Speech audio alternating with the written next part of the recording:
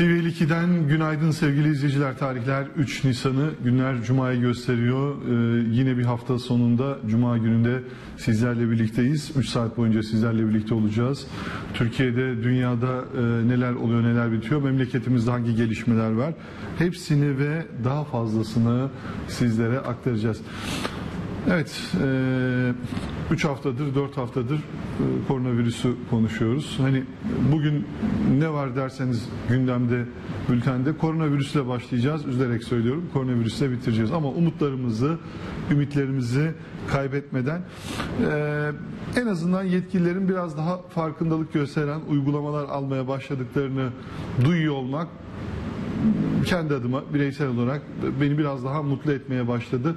Her seferinde söylediğimiz evinizde kalınız, sokakta fazla gereksiz yere bulunmayınız, sokağa çıkmayınız e, çağrılarının e, en son aşaması e, Ordu Valiliği dün aldığı bir kararla oradaki ve ilçelerindeki işlek caddelere giriş ve çıkışlarla ilgili e, bir kısıtlama getirdi.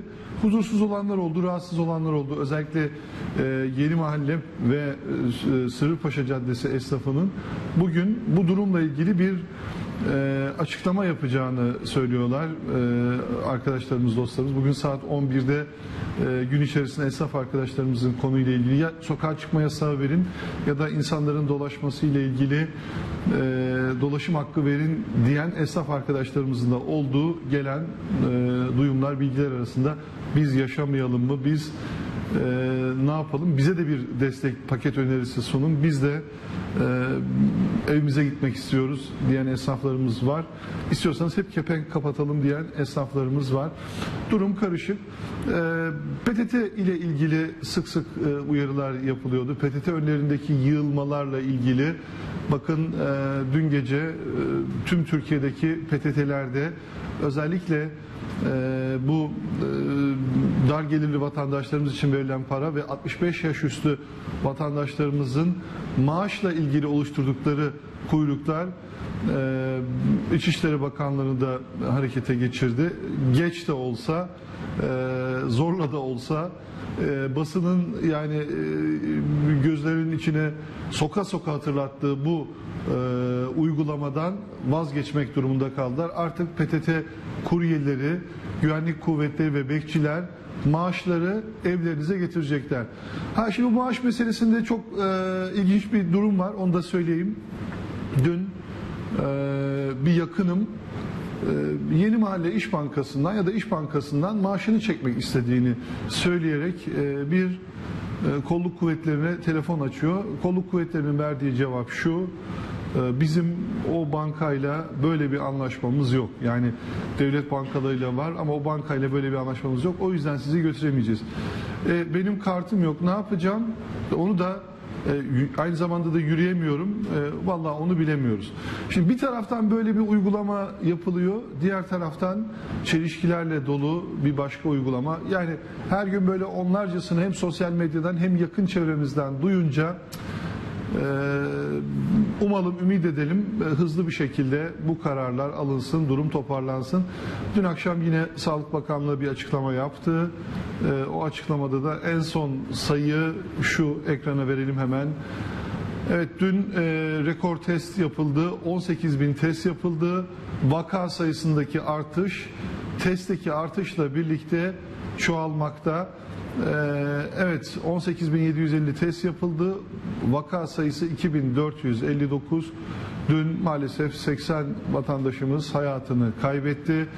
Şu ana kadar 125 bin test yapıldı ve 18.135 koronavirüslü e, pozitif çıkan e, vatandaşımız var. Evet, e, şu ana kadar ölen vatandaşlarımızın sayısı 356'ya çıktı.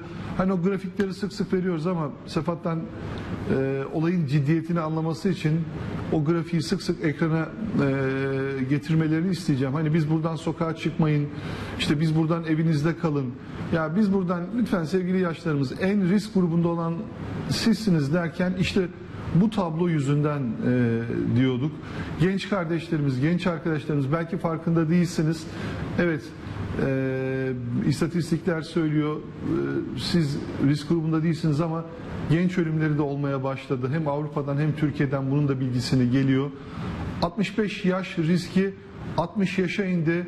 60 ile 65 yaş arasında olan sevgili büyüklerimiz ya ben 64'teyim deyip ortalıkta dolaşan e, umarsızca dolaşan e, yaramaz e, ihtiyarlarımız, genç ihtiyarlarımız var. Sizleri önemsiyoruz, yapmayınız. Sizin sağlığı, sizlerin yaşamı, sizlerin yaşam hakkı bizim için önemli. Hepinizin yaşam hakkı bizim için önemli. O yüzden aman dikkat diyoruz, lütfen dikkat diyoruz. Sizlerin yaşam hakkı kıymetli, değerli. O yüzden lütfen gerekmediğiniz sürece eğer e, size bir ihtiyacınızla ilgili yardım edemeyecek bir yakınınız olmadığı sürece dışarı çıkmayınız diyelim. Bu tablo önemli.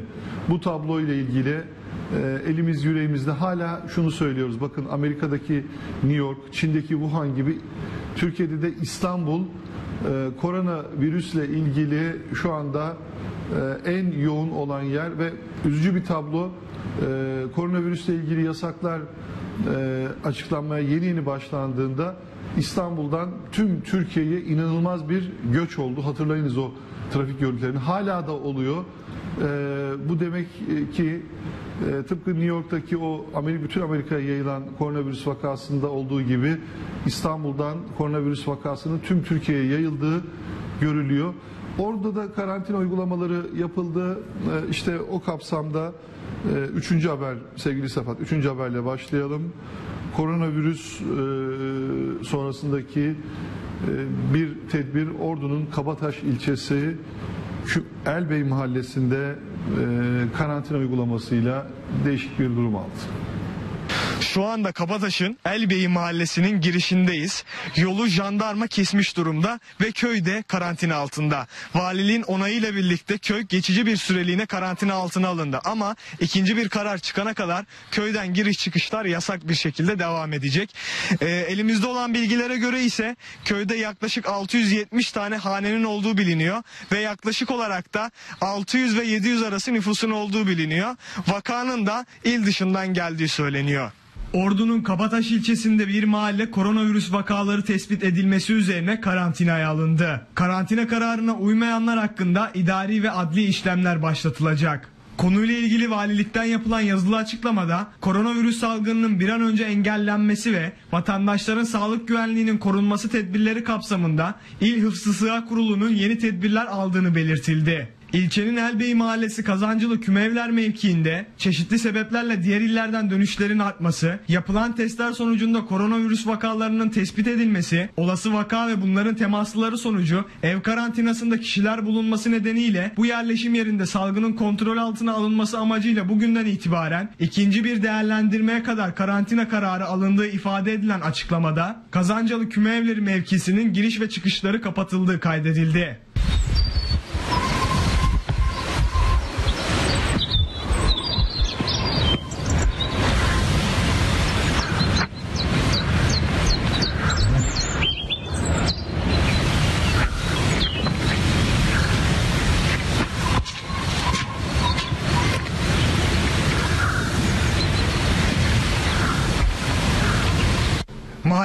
Giriş ve çıkışlarında jandarma ekipleri nöbet tutuyor ve çok acil bir durum olmadıkça mahallenin giriş ve çıkışlarından kimseyi geçirmiyor. Öte yandan Elbey Mahallesi muhtarı Tuncay Cödel'den alınan bilgilere göre mahallede 670 hane olduğu bilgisi alındı. Muhtar Cödel, mahallede ise şu anda yaklaşık olarak 600 vatandaşın bulunduğu bilgisini bizlerle paylaştı.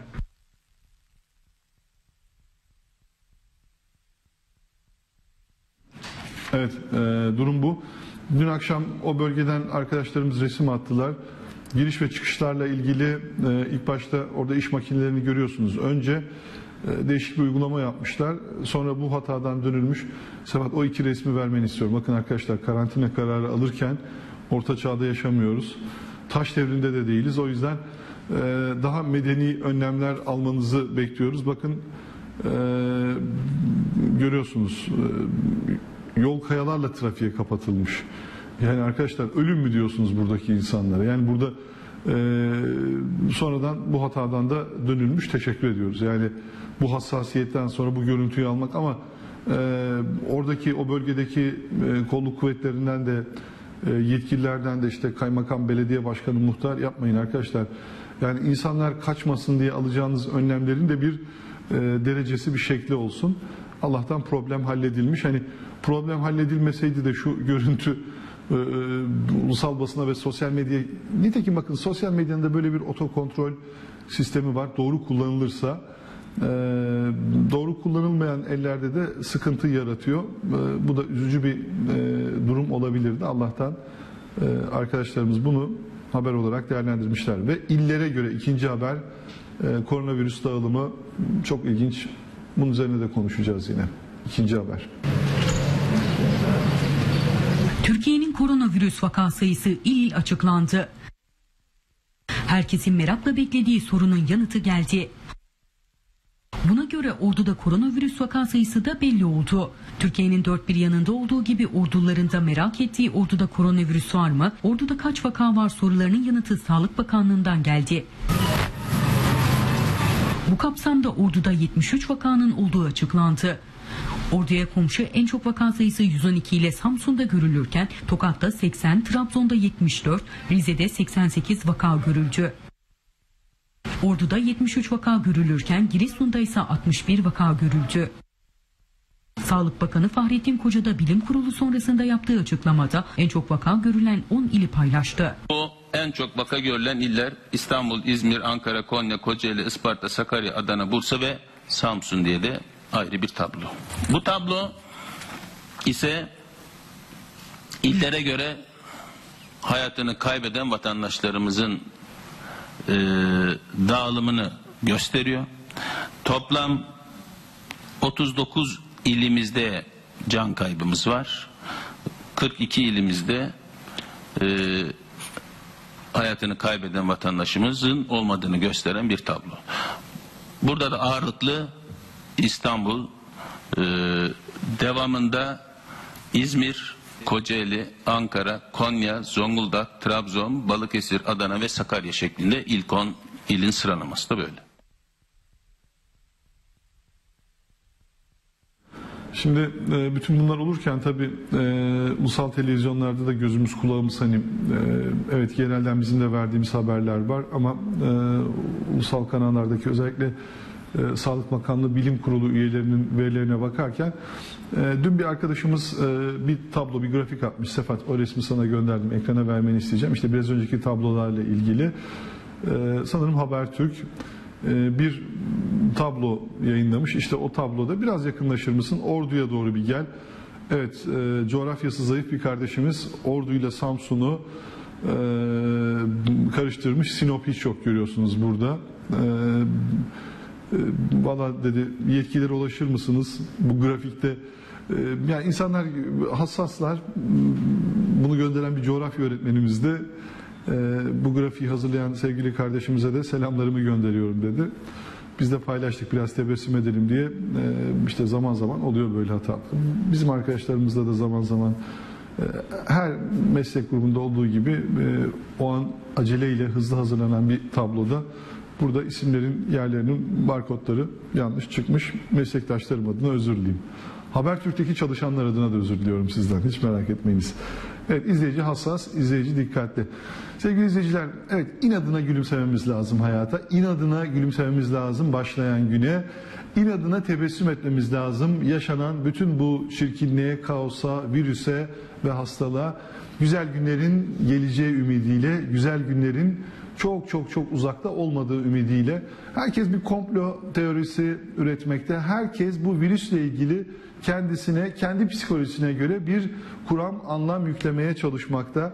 Ee, benim yüklediğim tek anlam var. Evet bir virüs e, tüm dünyayı dizayn ediyor. Biraz çirkin bir şekilde dizayn ediyor. En sevdiğimiz, en değer verdiğimiz varlıklarımız, sevgili yaşlılarımız, büyüklerimizin sağlığıyla tehdit ederek dizayn ediyor. Amerika'dan dostlarımız, arkadaşlarımız diyorlar ki belki inanmayacaksınız ama Amerika'da ölenlerin çoğu maalesef e, sokakta yaşayan o evsiz barksız dediğimiz tipler. Hani Trump'ın e, kafa tasvip ve ırkçı yapısını e, bildiğimiz için Amerika'daki biz yaşayan Türkler e, hani bu bir biyolojik şey olsaydı da Trump bunu e, Amerika'daki sokaktaki başıboş gezenler için kullanmak isteseydi bu kadar olmazdı deyince de işte o e, hani diyoruz ya biz bu tip şeylere inanmıyoruz. Ya bu kadarına da pes doğrusu diyoruz ama Amerika'daki vakalar şu anda e, inanılmaz derecede e, artmakta. Neredeyse her gün e, ölüm sayıları tüm dünyayı hızlı bir şekilde geçmekte, yakalamakta. Koronavirüs vakası ile ilgili Trump'ın yaptığı son açıklamaysa dehşet verici. E, 100-150 bin arası ölüm bekliyoruz diyor. Ama e, dediğim gibi e, bütün bu ölüm haberlerini okuduktan sonra tebessüm ediyorum. Fakat e, biz Türkiye'de e, biraz daha bu olaydan kendimize nasıl hasarsız, zararsız kurtarırızın kaygısıyla burada ekran karşısında hep size şunu söylüyoruz. Lütfen sokağa çıkmayınız. Gerekmedikçe bakın bugün cuma mesela evden dışarı çıkmayan büyüklerimiz var. Home office çalışanlar var ama mecbur olarak çalışanların dışında gelin cumartesi pazar günü e, kendi sokağa çıkma yasağımızı ilan edelim ve evimizden hiç dışarı çıkmamaya özen gösterelim. Hatta hafta sonu e, temel gıda maddeleri olur, ilaç olur. Gelin onların hepsini alınız. Cumartesi, pazar bir farkındalık yapalım. Çünkü bu son 1-2 hafta ile ilgili yetkililer sık sık şu cümleleri kullandılar. E, bu virüs şu anda pik yapma haftasında, bu hafta, önümüzdeki hafta kritik haftalar. Bu 2-3 haftayı dikkatli takip edebilirsek sokağa çıkma yasağı gerekmeyecek. Ee, umalım, ümit edelim bundan en hasarsız bir şekilde hem ülkemizi hem insanlarımızı hem de dileğimiz tüm dünyadaki insanlar için sadece kendimiz için de böyle bir isteğimiz olamaz. Ee, hasarsız bir şekilde atlatalım. Evet sokağa çıkma e, yasağında da yeni gelişmeler var. Son dakika bilgisi. Bakın 18 yaş altı çocukların ve 60 yaş üzerine e, sokağa çıkma yasağı yasaklanacak. Kulislerden alınan bilgiye göre 65 yaş üstü vatandaşlara sokağa çıkma yasağı konusundaki sınırlamalar 60 yaş üstü olarak uygulama planlanıyor. Ayrıca Cumhurbaşkanı e, gerekli bütün tedbirleri alması ile ilgili talimatları verdi, çalışmalara başladı. Bilim Kurulu'nun tavsiyeleri doğrultusunda bu kapsamda 65 yaş üstü vatandaşların sokağa çıkma konusunda sınırlamanın 60 yaş üstü olarak uygulanması sağlanacak. Ayrıca e, 18 yaş altı çocukların da sokağa çıkmaları da yasaklanacakmış. Valla yani bir nebze olsun rahatlatıcı bir tedbir olabilir ama bütün bunların şu açıklaması tek bir tahlili var. Biz bunları e, bir yasak olmadan e, halledemeyeceğiz. E, şimdi göreceksiniz 60 yaş üstü de yasaklanacak belki 18 yaş altı da gelecek ama yine sokağa çıkmalarda yoğunluk olacak. Bu sefer ben 18 yaşından büyüğüm diyen kahramanlar dolaşacak genç kahramanlar duyuyoruz orduda e, trafikteki e, yetkililere sesleniyorum buradan. Gençler artık arabayla e, turlu e, gezilere başlamışlar. E, bu gençlerimizin de bence uyarılması çok önemli. E, velilerden, ailelerden duyduğumuz endişe verici bir gelişme mekan kalmadı. Şimdi araba içlerinde bu işler başlıyor. Ve üzücü bir haber e, arkadaşlarımız dün paylaşmışlardı. Ordu'nun e, Mesudiye ilçesinde maalesef genç bir TEDAŞ görevlisi kardeşim elektrik direğinden düşerek e, ağır yaralandı. Evet İbrahim kardeşimiz resmi de var. Bu resmi de Sefat ekrana verirsen çok sevinirim. Bizim sayfamızda yer alıyor. E, ağır yaralandı. Mesleğini yapan e, 32 yaşındaki bu genç kardeşimize acil e, şifalar dileyelim. Evet sevgili izleyiciler e, haber bültenimiz devam ediyor. Dün Sağlık Bakanı açıklamıştı ama e, Cumhurbaşkanı e, Sayın Recep Tayyip Erdoğan da e, dün kendi belediye başkanlarını topladığı ve video konferans e, yöntemiyle onlara seslenerek önemli açıklamalarda bulunduğu dördüncü haberimiz. Cumhurbaşkanı ve AK Parti Genel Başkanı Erdoğan video konferans ile yapılan belediye başkanları toplantısı sonrası açıklamalarda bulundu. Dünya çapında 1 milyona yaklaşan vaka ve 50 bine varan ölü sayısıyla gerçekten tarihi bir felaketi yaşadığımız şu dönemde hamdolsun birçok ülkeye kıyasla iyi bir yerdeyiz. Ancak bunu yeterli görmüyoruz. Korona salgını kapsamında belediye başkanları ile video konferans yöntemiyle toplantı yapan Cumhurbaşkanı ve AK Parti Genel Başkanı Recep Tayyip Erdoğan, belediye başkanlarını salgın hakkında uyararak işbirliği çağrısında bulundu. Belediyelerimize çok daha büyük görevler düşüyor diyen Erdoğan, rutin temizlik faaliyetleri konusunda daha fazla hassasiyet göstermeliyiz dedi. Özellikle içinden geçtiğimiz Covid-19 hastalığı döneminde belediyelerimize çok daha büyük görevler düşüyor. Yerel Yönetimler Başkanlığımız salgının başlamasıyla birlikte bu konuda dikkat edilecek hususlara dair sizlere gereken bilgilendirmeleri yapmıştır. Kamu hizmet binaları, toplu taşım, toplu ulaşım araçları, pazar yerleri, çöp toplama alanları gibi yerlerin temizliğini ve dezenfeksiyonunu aksatmadan yapmalıyız. İlçe belediyelerimizle işbirliği halinde cadde ve sokakların rutin temizlik faaliyetlerinin yürütülmesi hususunda da daha fazla hassasiyet göstermeliyiz. Maske, eldiven, kolonya, tulum gibi temizlik ve korunma malzemelerinin temini ve dağıtımını mümkün olduğu kadar yaygın şekilde sürdürmeliyiz. Meslek edindirme kursları olan belediyelerimiz buralarda temizlik ve korunma malzemeleri üretimini kendileri yapabilirler. Evet şimdi e, bu görüntü de çok eleştirildi. Hemen e, sosyal medyada çok fazla eleştiri aldı Sayın Cumhurbaşkanı'nın bu konuşması. Çünkü bu konuşmada e, sadece ben de e, haberin başında aynı şekliyle e, ifade ettim. Kendi belediye başkanları e, ile görüşüyor. Niye o görüntüde e, işte son günlerde bu yardımla ilgili e, CHP'li belediyelere yasak geliyor tartışmasına bir son bulmak ve toplumu zaten virüsten dolayı rahatsız olmuşken bir de siyasi tartışmalardan kurtarmak adına bir hamilik, büyüklük, ülkenin Cumhurbaşkanı olarak o görüntüye işte İmamoğlu'nu, Mansur Yavaş'ı ya da Tunç Soyer'i yani Türkiye'nin en büyük 3 belediyesi Ankara, İstanbul, İzmir bu görüntüde yok. Sonra da bunu tabii e, basına servis ediyor olmaları e, siyasal bir görüşümüz olmadan zaten e, biz ve siz diye ayrıştırılan toplumda bir de şu virüsün tartışıldığı, konuşulduğu bugün de ayrıştırıcı bir görüntü olmuş eleştirisi aldı. Nitekim de bu tartışmalarda böyle giderse devam edecek. Birazdan ulusal basına da bakacağız. Ulusal basında da bu görüntülerin eleştirildiği e, duyuluyor. Sevgili Korkut Karakoç teşekkür ediyorum. Sağ ol. E, günaydın diyelim. Günaydın mesajlarınız var. Ee, sevgili Ahmet Yavuz, günaydın güzel kardeşim demiş.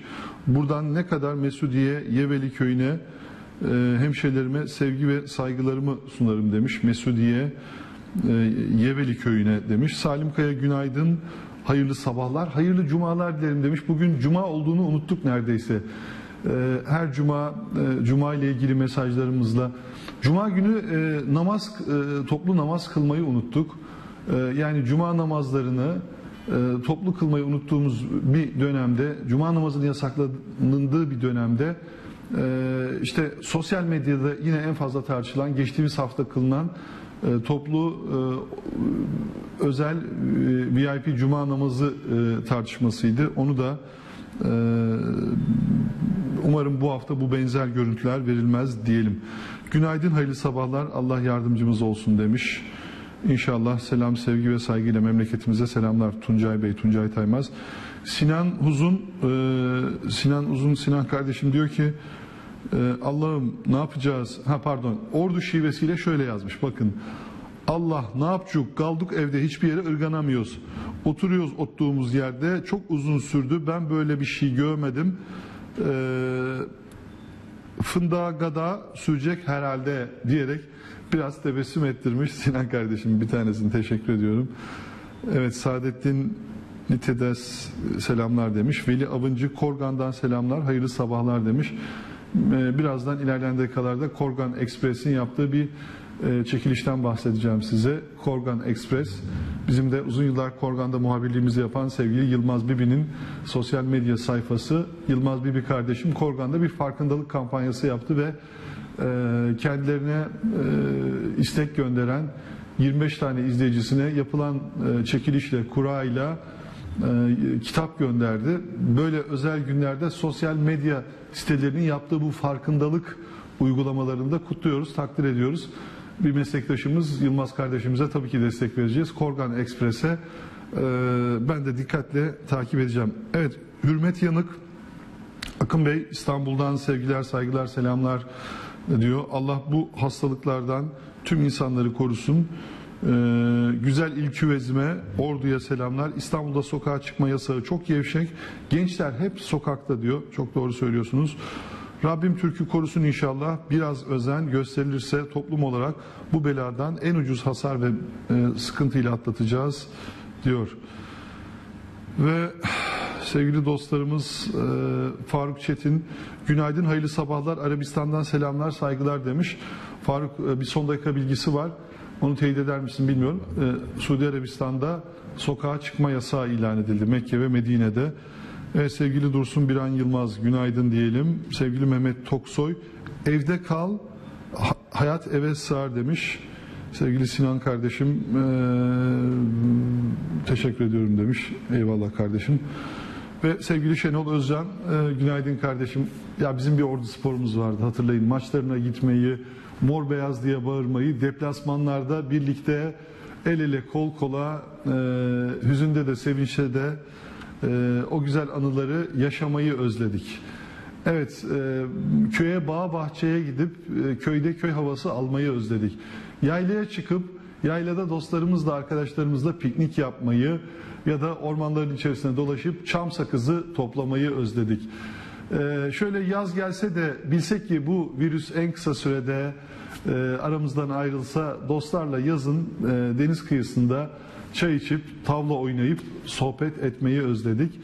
Ee, şu virüs bir hayatımızdan gitse de e, sokakta spor yapmayı, e, banklarda oturmayı özledik. İşte bir virüs bakın tüm dünyanın, Türkiye'nin, şehrimizin, mahallemizin, köyümüzün, hepimizin hayatına nasıl bir dizayn verdi. Bir kere daha yaşadığımız dünyanın ne kadar özel olduğunu, yaşadığımız dünyanın aslında bizler tarafından ne kadar hor kullanıldığını hatırlamamıza vesile oldu. Ha bu arada e, sokaktaki hayvanlarımızı da unutmamamız gerekiyor. Başıboş dolaşan kediler, köpekler, e, doğadaki kuşlar var. Evet biz bir taraftan dışarı çıkamıyoruz ama onların da e, gıda ihtiyaçları olduğunu hatırlayınız. O yüzden dedik ya işte bir virüs nasıl bize e, hani böyle hizaya mı getirmek e, olmalıydı ama e, e, oldu. Valla sakın gelme istemem artık demiş e, sevgili Bülent kardeşim. E, hani dostlara söz verip de gidememek çok kötü. E, sevgili Bülent Akçay bu tarihi buluşmaya virüs engel oldu hiç merak etme. Virüse rağmen e, bir gün yokuş dibine gelip seninle o senin bana sık sık resmini gönderdiğin, çayını içtiğin ve e, bizi izlediğin o e, camdan yokuş dibine Kabadüz'e e, birlikte bakacağız inşallah. Sevgili Olcay bana WhatsApp'tan mesaj atmış. Olcay normalde mesaj atmazdı. Bir bakalım ne diyor. Evet Uğur Kubaloğlu hayırlı cumalar Akın Bey iyi yayınlar diliyorum demiş. E, ve sevgili Bülent kardeşim de diyor ki tüm iyi şeyler sabırdan sonra gelir diye Mevlana'nın güzel bir benim de çok sevdiğim bir e, sözünü göndermiş. Çok teşekkür ediyorum Bülent kardeşime. Bakın unutmayın. E, sabırla ilgili e, sevgili Bülent şimdi e, ben şu anda yazamıyorum. Ne kadar böyle sabretmeyle ilgili yazı varsa paylaşıp göndermen lazım. Çünkü gençler sabırsız. Bir de bizim huysuz ihtiyarlarımız var. Onlar da sabırsız. İşte dışarı çıkmak istiyorum. Dışarı çıkacağım. İşte e, ben evde e, kalırsam bunalırım. Ne yapayım hava almam lazım diyen gençleri ve ihtiyarları. Yani e, böyle ortada gidip dolaşıyoruz. Böyle bir durum. Sevgili İsmail Odabaşı günaydın yayınlar demiş. İsmail abi dün e, Kurşunçalı ormanları ile ilgili bir yazı gönderdin. Evet bütün oradaki meseleleri de önemsiyoruz ama şu süreci bir atlatalım. İnşallah el birliğiyle orada da bir e, sıkıntı olmasını engelleyecek hem haberleri hem de gözlemlerimizi birlikte yapacağız. Evet başım gözüm üstüne demiş Bülent kardeşim bir tanesin. Sokağa çıkma yasağı 60'a inerse biz de yandık. Ee, o vakit yaş 60 demiş. Hmm, siz de anlaşıldı. Hareketli izleyicilerimizdensiniz. Sevgili Ahmet Yavuz Beyefendi. Çok teşekkür ediyoruz. Kolay gelsin. Evet evde kal. Hayat eve sığar. Mehmet Oksoy. Ramazan Karaköse Gölköy Güzel Yurt'tan hayırlı cumalar. Allah bir an önce saflarda buluşmayı nasip etsin. Çok güzel söylüyorsun. Ee, ya düşünsenize e, bu ay sonunda hep birlikte belki de oruç tutacağız. Ee, Ramazan ayının gelişini kutlayacağız. Ee, Teravihlere e, gidemeyeceğiz. İşte cumaları e, kılamıyoruz. Vakit namazını kılamayan e, dostlarımız, arkadaşlarımız e, Ramazan Karaköse kardeşime de teşekkür ediyorum. Gerçekten Allah bir an önce saflarda buluşmayı nasip eylesin demiş. Çok güzel bir söz söylemiş. Sevgili Eyüp Kaya e, Kocaeli'den selamlar demiş. Teşekkür ediyoruz. Evet Hürmet Yanık Akın Bey İstanbul'dan sevgiler, selamlar, saygılar. Ee, biraz önce okumuştuk doğru. Ve sevgili Semih Başoğlu. Evet TV52'de e, meslek hayatına başlayan e, yine burada çalışan sevgili bir e, kardeşimizle Halkla İlişkiler Bölümünde çalışan sevgili kardeşimizle e, dünya evine giren ve daha sonra da e, Türk Silahlı Kuvvetleri e, saflarına katılan sevgili Semih kardeşime Ankara'ya e, sevgili eşlerine de selam sevgi muhabbetle. Semih mesleği bırakmış olsan bile TV2'nin sende çok özel bir yeri olduğunu biliyoruz. Bizlerin de e, sende çok özel bir yeri var. Aman kendinize dikkat ediniz. Şu anda Türk Silahlı Kuvvetleri, e, belediyelerin temizlik ve zabıta kuvvetleri, e, polis ve bekçi arkadaşlarımız, sağlık çalışanları, e, marketlerde çalışan kardeşlerimiz, kuryeler e, ve e, şoför arkadaşlarımız çok önemli bir misyon üstleniyorlar. Bakın bu kriz anında e, o saydığım işte biz gazeteciler, çalışmak zorunda olan kamudaki arkadaşlarımız herkes evinde biz buradan çağrı yapıp oturun oturun derken onlar çalışmak zorundalar. Niye? Onlar sizin e, temel ana ihtiyaçlarınızı gidermeye, sokakları temizlemeye, belki sağlıkla ilgili probleminizle karşılaştığınızda bunları çözmekle mükellef olan meslek kuruluşları şu anda e, işinde olan, işinde olmak durumunda olup belki de kaygıyla, endişeyle dışarı çıkan tüm fedakar, cefakar e, dostlarımıza, vatandaşlarımıza, çalışanlarımıza e, kolay gelsin. Allah hepinizden razı olsun diyorum. Evet Veli Avıncı Korgan'dan selamlar demiş. Teşekkür ediyoruz. Sağ olun. Size de selamlar. Sevgiler, saygılar. Evet biraz böyle mesajlara baktık. Kusura bakmayınız. Tayfun Uzman, günaydın Akın Bey. Yayınlar, hayırlı cumalar olsun. Bu virüs çıktıktan sonra insanlar temizliğe ve sağlığın ne kadar önemli olduğunu öğrendik. Sadece onu mu öğrendik? Bir de e, yaşadığımız şehirlerde, köylerde, kasabalarda e, dolaşmanın ve yaşamın kıymetini, nefes almanın kıymetini anladık. Yani bakın e, nefes almanın kıymetini, önemini bir kere daha anladık. Nefes almamak adına maske takıyoruz. Ellerimize eldiven takıyoruz. Başımıza kornak takıyoruz. Eve gidince temizleniyoruz. Ellerimizi temizliyoruz. İşte bu durumdayız. Sevgili İlhan Şahin tüm orduya selam olsun demiş. İlhan kardeşim sen de böyle giderse İstanbul'da mahsur kalacaksın. Ee, aman dikkat et kendine. Evet Faruk Çetin diyor ki e, Suudi Arabistan'la ilgili bir şey söylemiştim demin. Abi Mekke ve Medine'de yasaklar 24 saate çıkartıldı. Biz çalışma sahası Eddaman'da olduğumuz için şu an bize yansımadı. Biz sabah 6'da çıkıyoruz, akşam 5'te çalışıyoruz. İleride ne olur bilemeyiz demiş. Aman Faruk kardeşim dikkat et kendine. Ve Atıf Tüfekçioğlu Avrupa'ya çalışan tır şoförüyüm. Bütün ülkelerde sokağa çıkma yasağı var. Türkiye'de neden yok? Bakın Atıf Tüfekçioğlu diyor ki ben tır şoförüyüm. Şu anda tırımla Avrupa'da dolaşamıyorum. Ama Türkiye'de bu neden var? Ee, Türkiye'de neden yok? Ee, söyleyeyim diyor. Ekonomiyi yönetmenin acizliği olduğu için insan sağlığı risk ediliyor diyor. Bu e, ve buna benzer birçok eleştirileri sosyal medyadan fazlasıyla duymaktasınız. Valla e, yaklaşık iki haftadır burada boğazım patlayana kadar e, size bu farkındalığı hatırlatana kadar e, dedik ki ya evet tüm Türkiye'de sokağa çıkma yasağı alacak e, cesareti e, şu anda e, ve basireti E, eminim ki gösterecekler ama gelin şehrin valilerine böyle bir yetki verildiyse Ordu valisi Sayın Seddar Yavuz'dan radikal ve çok Türkiye örnek olacak bir karar alsın. Tüm Türkiye e, kendisini e, bu farkındalık ve bu takdir edecek uygulamayla e, tanısın. Bu konuda çok katı düşünüyorum. Her şeye rağmen dün tekrar sokaklarda dolaştık. Evet ana caddelerdeki o yoğunluk azaldı. Bu sefer ana caddelerdeki yoğunluk ne oldu bakın söyleyeyim size. Ara caddelere dağıldı. Yani bir huzursuz bir kitle var. Sokağa çıkmadan duramayan bir kitle. Suriyeli çocuklar var.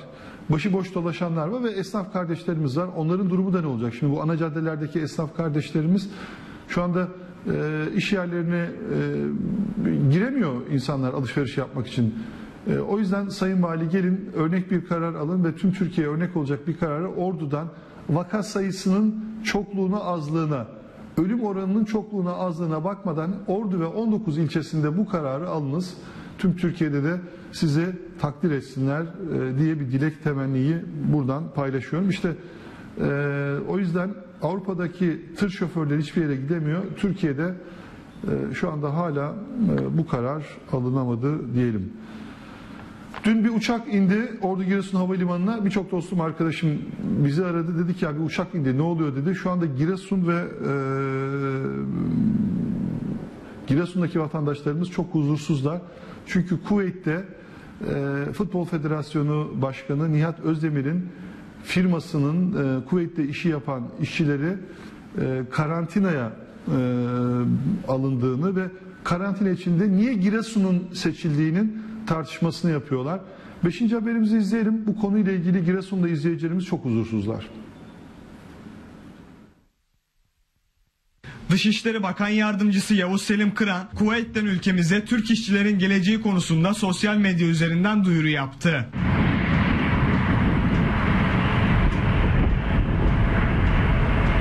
Duyurunun ardından Kuveyt'ten bugün Ordu Giresun Havalimanı'na ilk kafilenin olduğu 301 işçi Türkiye'ye geldi.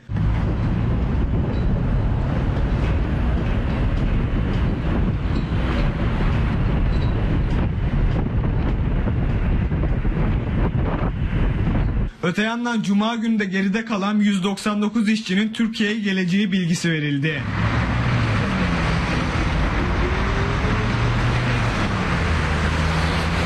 Havalimanına gelen uçaktan inen yolculara yapılan kontrollerden sonra Ordu ve Giresun'da bulunan yurtlarda karantina altına alındı.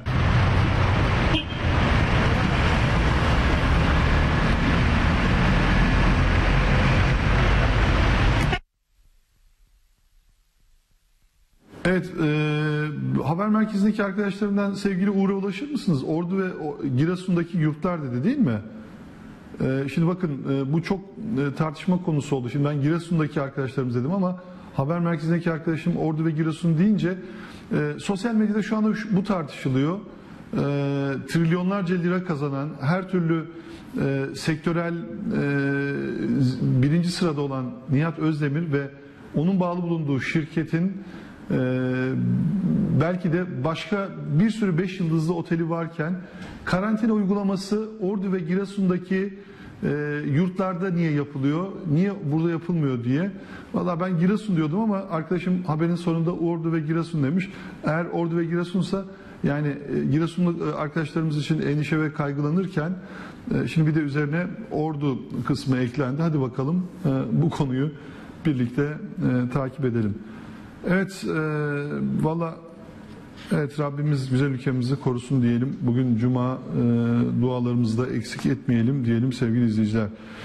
Evet, e, altıncı haber şöyle söylüyor. E, hemen Volkan'dan bana bir bilgi notu geldi. Teşekkür ediyorum Volkan. E, bakalım ne diyor. Abi e, Giresun'da kalacaklar. Ordu ile alakalı bir durum yok.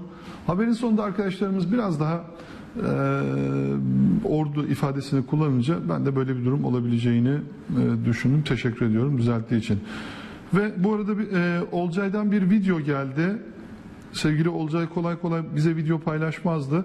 Bakın bu görüntüyü ihbar kabul edelim ve e, bir son dakika bilgisi e, Ordu Büyükşehir Belediyesi'ne, kolluk kuvvetlerine ve zabıta birimlerine bu videoyu hemen atacağız ama ekrana da vermek istiyorum. Sevgili Olcay şu anda işe gelmek üzere kameraman, şef kameramanımız Olcay. Şu anda diyor memur kentin TOKİ arabasındayım ve dolmuşta 13 kişi var. E, plakasını dağıtmış. Evet plakasını dağıtmış. Harikasın Olcay. İşte bu minibüsçü kardeşimiz şimdi tabi ben burada minibüsçüye kızmıyorum. Ben burada bu koşullarda Olcay sana da kızıyorum. Sen de bu arabaya niye biniyorsun? Ya da e, niye uyarmıyorsunuz? Yani e, ve memur kent e, etabında çalışan arkadaşlarımız niye yoğun bir şekilde çalışmıyorsunuz? E, oradaki insanların sağlığı niye hiçe atılıyor?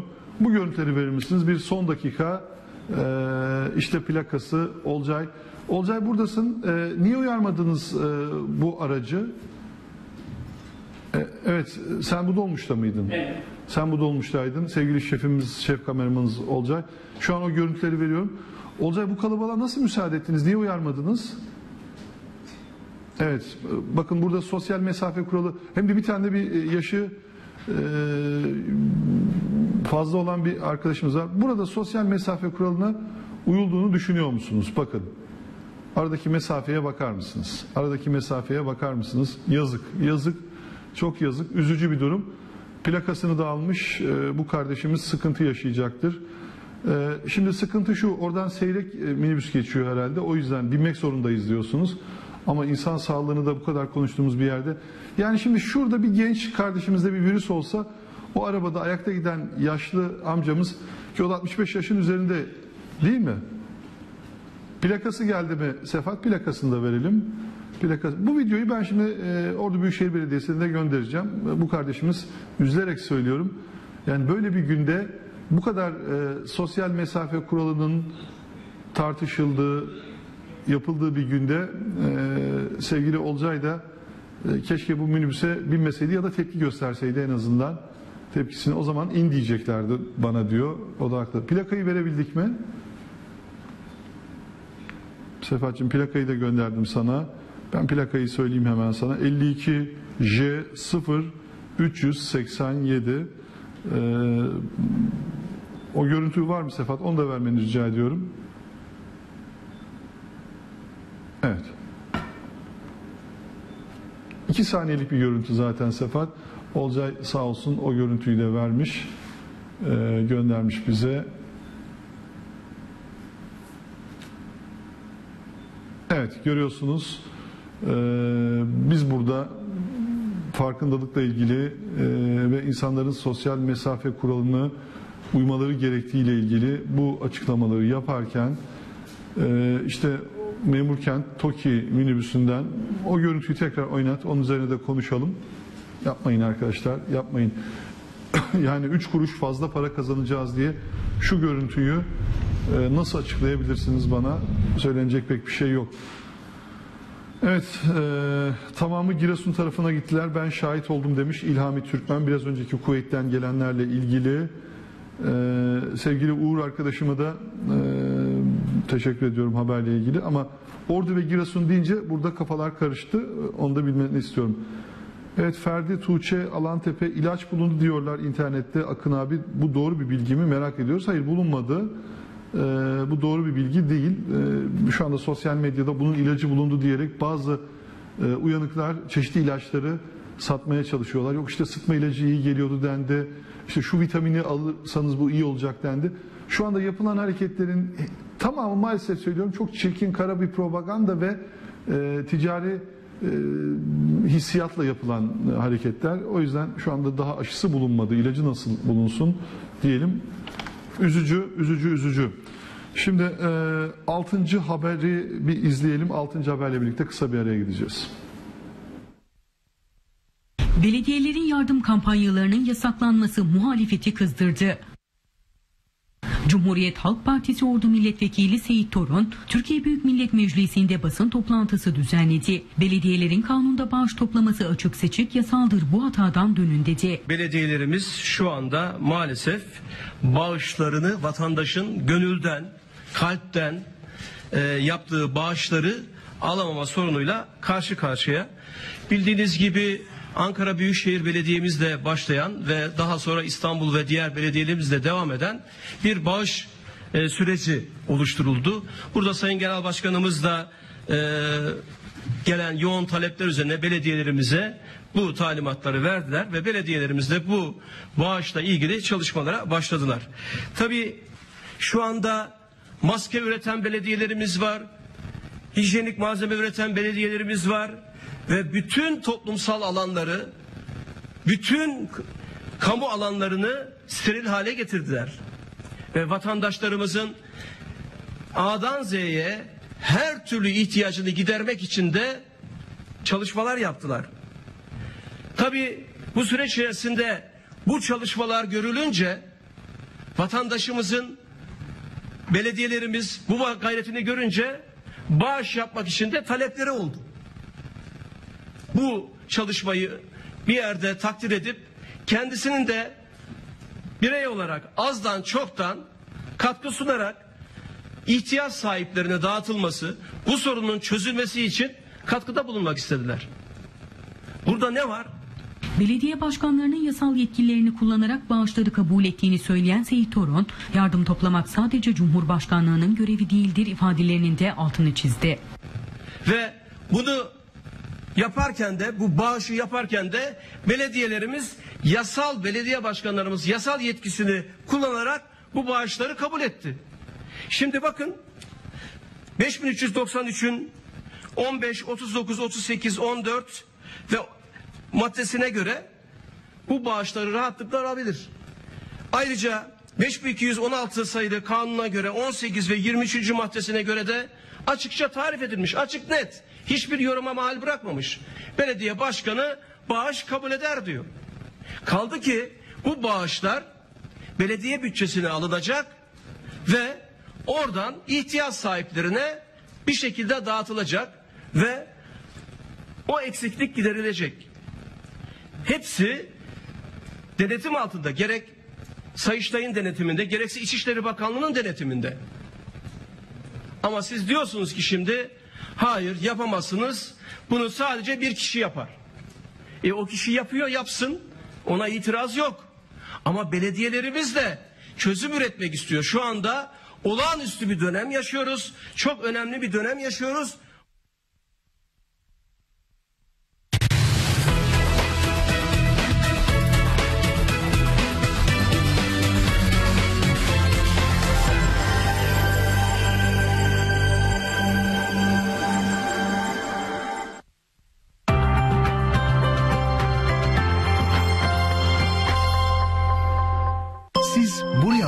Baktığınızda ne görüyorsunuz? Biz mutlu yüzler görüyoruz. Parkta eğlenen çocukları, yeni umutları, yeni mutlulukları görüyoruz. Büyük işler, büyük hayallerin eseridir. Yapılarımız bizim en büyük eserimizdir. Alanlar İnşaat. Alan kazanır. Eve sığar. Evinde kal ordu. Siz siparişinizi verin, alışverişiniz evinize gelsin. Ankamar kalite ve güvencesiyle WhatsApp sipariş hizmetimiz başlamıştır. 0537 368 97 97 nolu WhatsApp iletişim hattından veya gelsineve.com sanal marketimizden siparişlerinizi verebilir. Temassız ödeme ve alışveriş özelliğimizden faydalanabilirsiniz. Ankamar, sağlıklı günler diler.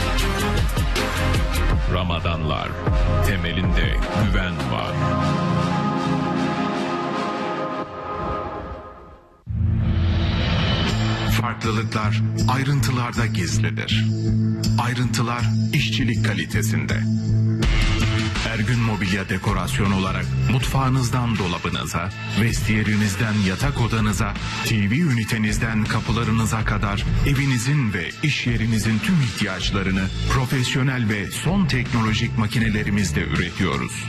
Plan, tasarım, konsept, proje ve kusursuz işçilik ana felsefemiz.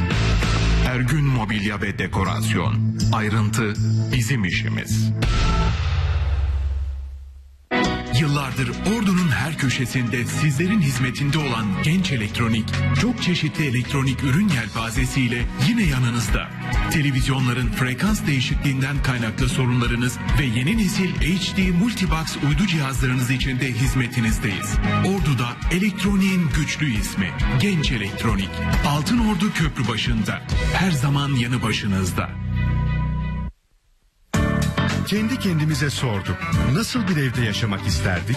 Konforu nasıl tanımlardık? İşte tüm bu soruların sonunda köy içi evleri ortaya çıktı. Ordu'da 15.500 metrekare üzerinde inşa edilen köy içi evleri projesinde tüm daireler deniz ve bahçe manzaralı. Üstelik yeşilin 1001 tonu da köy içi evlerinde. 125 metrekareden 280 metrekareye normal ve dubleks daire seçenekleriyle geniş ve ferah yaşam alanları sunuyoruz.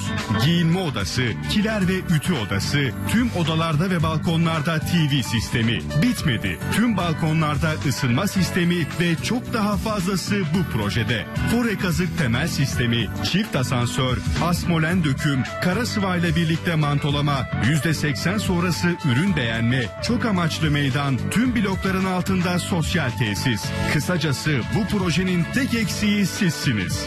24 ay ve 36 ay sıfır faiz imkanıyla siz de köy içi evlerinde yerinizi alın. Adalı gayrimenkul güvencesiyle köy içi evleri tüm zamanların en iyisi. Örnek dairelerimizi görmeden ev almaya karar vermeyiniz. Adalı, kalite ve estetiğin mimarı. Huzur dolu, güvenli bir gelecek için yaşamınızı kolaylaştıracak ince detaylarla donatılmış projelerimizle sahip olmak istediğiniz yüksek yaşam kalitesinde şık, ferah ve konforlu dairelerimizle sizlere tarihi fırsatlar sunuyoruz. Fırsat 1. Bucak Mahallesi'nde Devlet Hastanesi ile Eğitim Araştırma Hastanesi arasında tamamı bitmiş, anahtar teslimi hemen taşınabileceğiniz 90 metrekare ile 144 metrekare arasında değişen daireler. Fırsat 2. Emirkent 2 sitemizde tamamı bitmiş 190 metrekare 4 artı 1 dairelerimiz. Açık ve kapalı ısıtmalı yüzme havuzu, sauna, fin hamamı, Türk hamamı ve çok daha fazlası bu projede. Fırsat 3. Şirin Evler Mahallesi'nde Melikşah sitesinde tamamı bitmiş, anahtar teslimi 110 metrekare ile 120 metrekare arasında değişen daireler. Ayrıca yapımı devam eden Nizamettin Mahallesi Hanzade konaklarında 125 metrekareden 210 metrekareye normal ve dubleks daire seçenekleriyle sizlere görülmemiş ödeme fırsatları ve seçenekleri sunuyoruz. Selçuk İnşaat. En iyi isteyenlerin tercihi. Sevdiklerinize aldığınız o hediye kutusu var ya, hani taşınırken ihtiyaç duyduğunuz koliler, ayak altında olmasını istemediğiniz eşyaları koyduğunuz kutular, tüm o koruyucu ve aynı zamanda özel ambalajların arkasında bir isim var. Özşahin Ambalaj. Özşahin Ambalaj sektörde yaklaşık 20 yıla yakındır sizlere hizmet sunmanın mutluluğunu yaşıyor. Teknolojik gelişmeleri yakından takip eden Özşahin Ambalaj geçen yıllar içerisinde hizmet kapasitesini ve üretim kalitesini sürekli artırarak yoluna başarıyla ve gururla devam ediyor. Göstermiş olduğunuz ilgiye teşekkür ederiz. Özşahin Ambalaj. Koli bizim işimiz. Doyumsuz seyredebilmek orduyu, doğan güneşi, yağan yağmuru, buram buram kokan toprağın kokusunu seyredebilmek, boylu boyunca Karadeniz'in mavisini, ordunun yeşilini, sarısını, morunu, beyazını, her halini seyredebilmek. Kayıp giden zamanı, iyiyi, güzeli, insanı seyredebilmek, hayatı en doğru yerden. Seyir Park, Şahincili'de yükseliyor. Hayal etmek kolay, gerçeğe dönüştürmek zor. İstemek kolay, birikim yapmak zor. Ordunun eşsiz doğasında, üniversiteye komşu, benzersiz bir hayatı yanı başınıza getiren Nordloft Haki Yener konutlarıyla kalıpların ötesinde yepyeni bir yaşama hazır olun. Şimdi 129 bin liradan başlayan fiyatlar 80 bin lira peşin aylık 1000 lira sabit taksit seçenekleriyle. Üstelik banka yok, faiz yok, kefil yok, ev sahibi olmak var. Nordloft Haki Yener konutları. GRP gayrimenkul güvencesiyle. Bilgi telefon 888 18 18.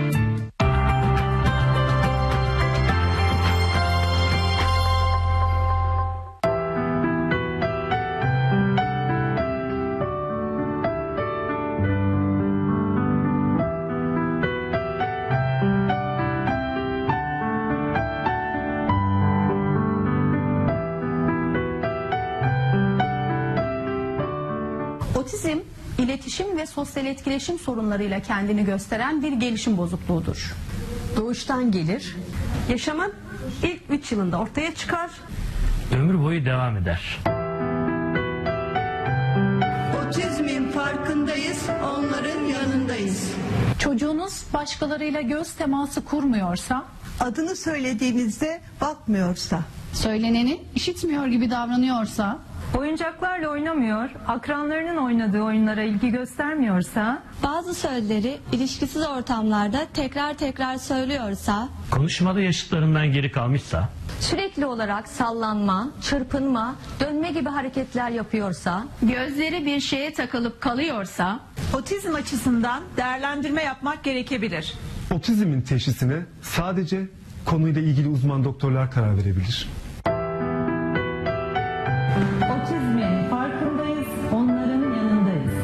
Otizmli çocuklar parlak dönen nesnelere ilgi duyarlar. bazı ses, nesne ya da kokulara karşı aşırı hassasiyet gösterebilirler. Alıştıkları bir düzen ya da rutinin bozulmasından rahatsız olurlar. Basit nedenlerden dolayı doğru iletişim kuramayıp öfke nöbeti geçirebilirler. İletişim kurmada ve başlatmada sıkıntı yaşarlar. Bu nedenle karşısındakinin elini tutarak istediğini anlatmaya çalışırlar. Otizm kişiden kişiye farklı etki eder. Otizmin etkilerini ağır yaşayan çocuklarda Epilepsi, zihinsel yetersizlik ve saldırgan davranışlar görülebilir. Otizmin farkındayız, onların yanındayız. Otizmi tamamen ortadan kaldıracak bir ilaç veya tedavi yoktur. Sadece bireyselleştirilmiş eğitim programlarıyla Otizmli çocukların sorunlarını azaltmasını, Davranışlarını yönetmesine, Temel becerileri kazanmasını Bağımsız yaşayabilmelerini sağlayabiliriz. Bu nedenle otizmde erken tanı, Eğitimin bir an önce başlaması açısından çok önemlidir. tek tek. Otizmin farkındayız, onların yanındayız. Otizmli bireylerin okulda öğretmenlere, parkta arkadaşlara, sokakta sizlere yani hepimize ihtiyacı vardır. Otizm eksiklik değil farklılıktır.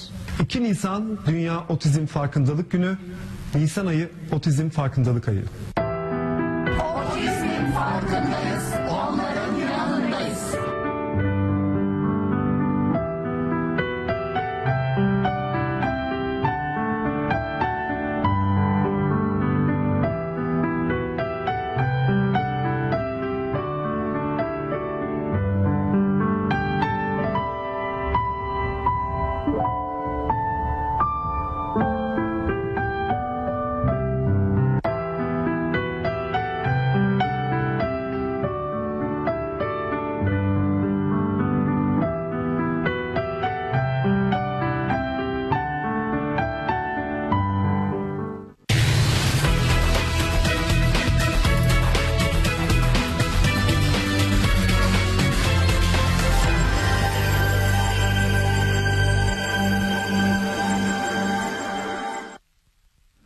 TV2'de Yeni Gün programı devam ediyor. Kısa bir aranın ardından sizlerle birlikteyiz. Ee, sabah 08'de başladık yayını. Saat 11'e kadar sizlerle birlikte oluyoruz.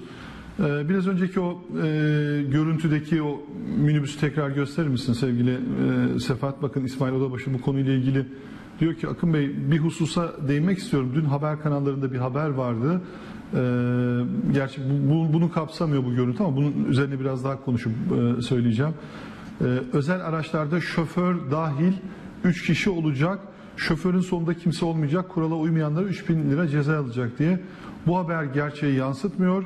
Emniyetin bu yönde açıklaması olmadığını öğrendim diyor.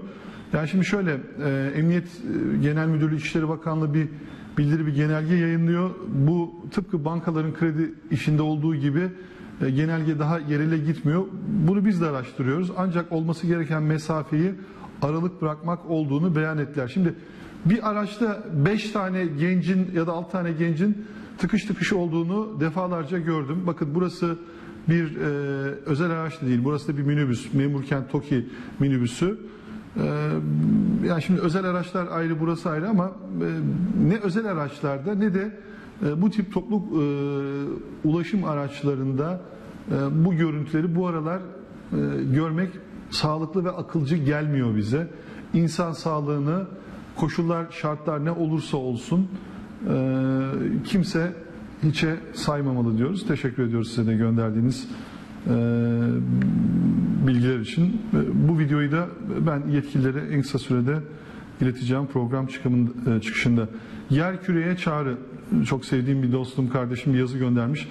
E, işte bu virüsle ilgili e, ve tüm dünyada yaşanan olaylarla ilgili bakın dünyamızı e, ne kadar hor kullandığımızı, ne kadar hoyratça kullandığımızı anlatan güzel bir yazı. Dünya genelinde son yıllarda yoğunluk yoğunluğu gittikçe artan felaket, salgın ve afetlerle bu arada Van'da bir deprem oldu 4 şiddetinde onu da söyleyelim. Biz insanoğlunu bu konular üzerinde düşünmeye ve çare aramaya zorlamaktadır. Nitekim ortaya çıkan hastalık ve sorunlar artık belirli bir bölgeyi değil tüm dünyayı e, etkilemektedir. Bu durumda yer kürenin bütün insanlığın ortak evi olduğunu göstermektedir. İşte e, bununla ilgili olarak da bakın Evet Sefat özür diliyorum devam edelim. E, dünyanın geçici konukları olan tüm insanlar yani bizler e, evet ben de sırayı kaybettiğim için hemen okuyacağım arkadaşlar. Evet, nitekim ortaya çıkan hastalık ve sorunlar artık belirli bir bölgeyi değil tüm dünyayı etkilemektedir. Bu durumda yer kürenin bütün insanlığın ortak ev olduğunu göstermektedir. Bu ortak evdeki her türlü olumlu ve olumsuz gelişme insan ayrımı yapmadan dünyanın geçici konukları olan tüm insanları ilgilendirmekte ve etkilemekte. Öncelikle şu gerçeği görmek, kabullenmek, yer kürenin ortak yaşamı kurallarını belirlemek durumundayız. İnsanlık tek bir ana ve babadan türediğini ve temelde kardeş olduğunu er geç anlayacaktır. Bu gerçeğe giden yolda ilk adım gelinen noktadaki hata ve sorumluluklarımızı kabullenmek olabilir.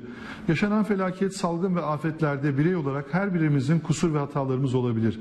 Hepimiz her biçimde kendimizi de sorgulamalı ve üzerimize düşen görev ve sorumluluklar üzerinde tekrar düşünmeliyiz.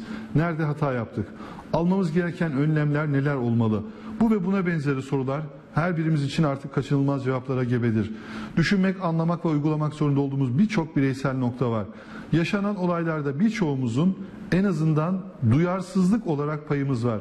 Örneğin birileri çevremiz ve atmosfer kirleniyor, doğal denge bozuluyor, küresel ısınma artıyor demesine rağmen birçoğumuz bu seslere kulak tıkadık. Fütursuz davrandık. Şimdi artık gözümüzü, kulağımızı ve beynimizi açma zamanıdır. Topyekün yer küre ahalisi olarak uyanmak zorundayız. Bu zorluluk hem hali hazırda dünyanın sakinleri olan bizler için hem de gelecekte yaşayacak çocuklarımız içindir.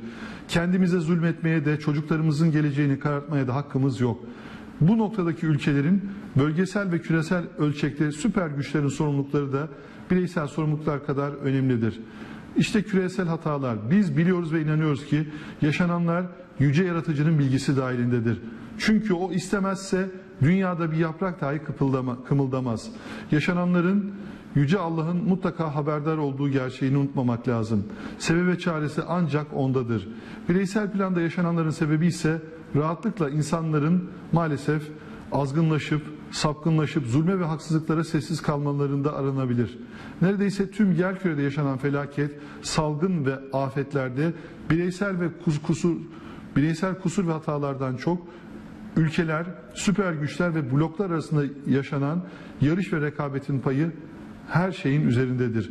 Dünya nüfusunu azaltma ve dünyaya hakim olma içgüdüsüyle hareket eden süper odaklar dünyamızı ön alınmaz bir felakete doğru sürüklemek üzeredirler. Artık hemen herkesin bildiği bu odakları burada tartışmaya gerek yok. Ancak öncelikle tüm insanlık olarak yapılan yanlışları bilmemiz, görmemiz ve mutlaka tedbir almamız gerekiyor.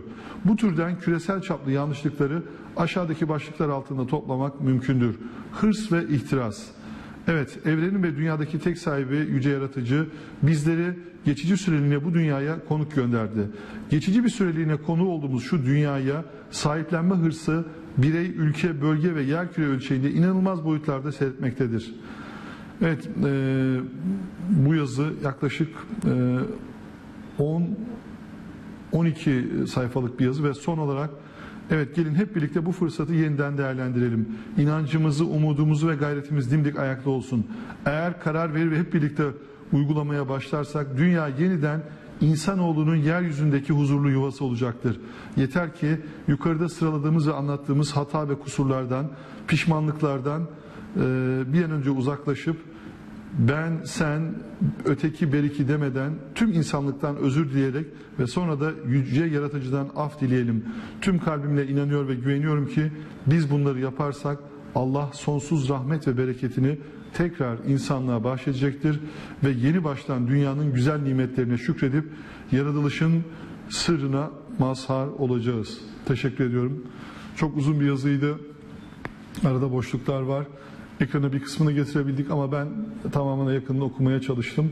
Şu anda içinde bulunduğumuz durumu anlatan önemli bir tespit, önemli bir yazı. Profesör Doktor Ertuğrul Yaman yazmış bu yazıyı. Sevgili dost- dostum, kardeşim Zeynep e, göndermiş. Ben de okumaya çalıştım. Ulusal basınla devam edelim mi arkadaşlar? Ulusal basında ne var ne yok? Evet, ulusal basınla başlayalım. Ee, ulusal basında e, gündeme, evet, Grazi Türkiye, teşekkürü e, İtalya ve İspanya Türkiye'ye e, yardımla ilgili yaptığı bu çalışma sonrasında e, bakın İspanya Genelkurmay Başkanı Gabriela ve 10 yaşındaki İtalyan genç de bu mesajı göndermiş. Özür dilerim. e, 10 yaşındaki İtalyan Gabriela ve İspanya Genelkurmay Başkanı da bu mesajı göndermiş.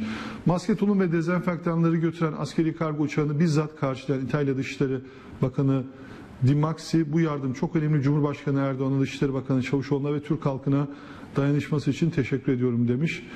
Ve Milano'da yaşayan Ernest Gabriela Skorki de Türkiye'ye teşekkür ettiği videosunda Türk halkına ve Türk devletine İtalya'ya yaptıkları bu yardım için teşekkür etmek istiyorum.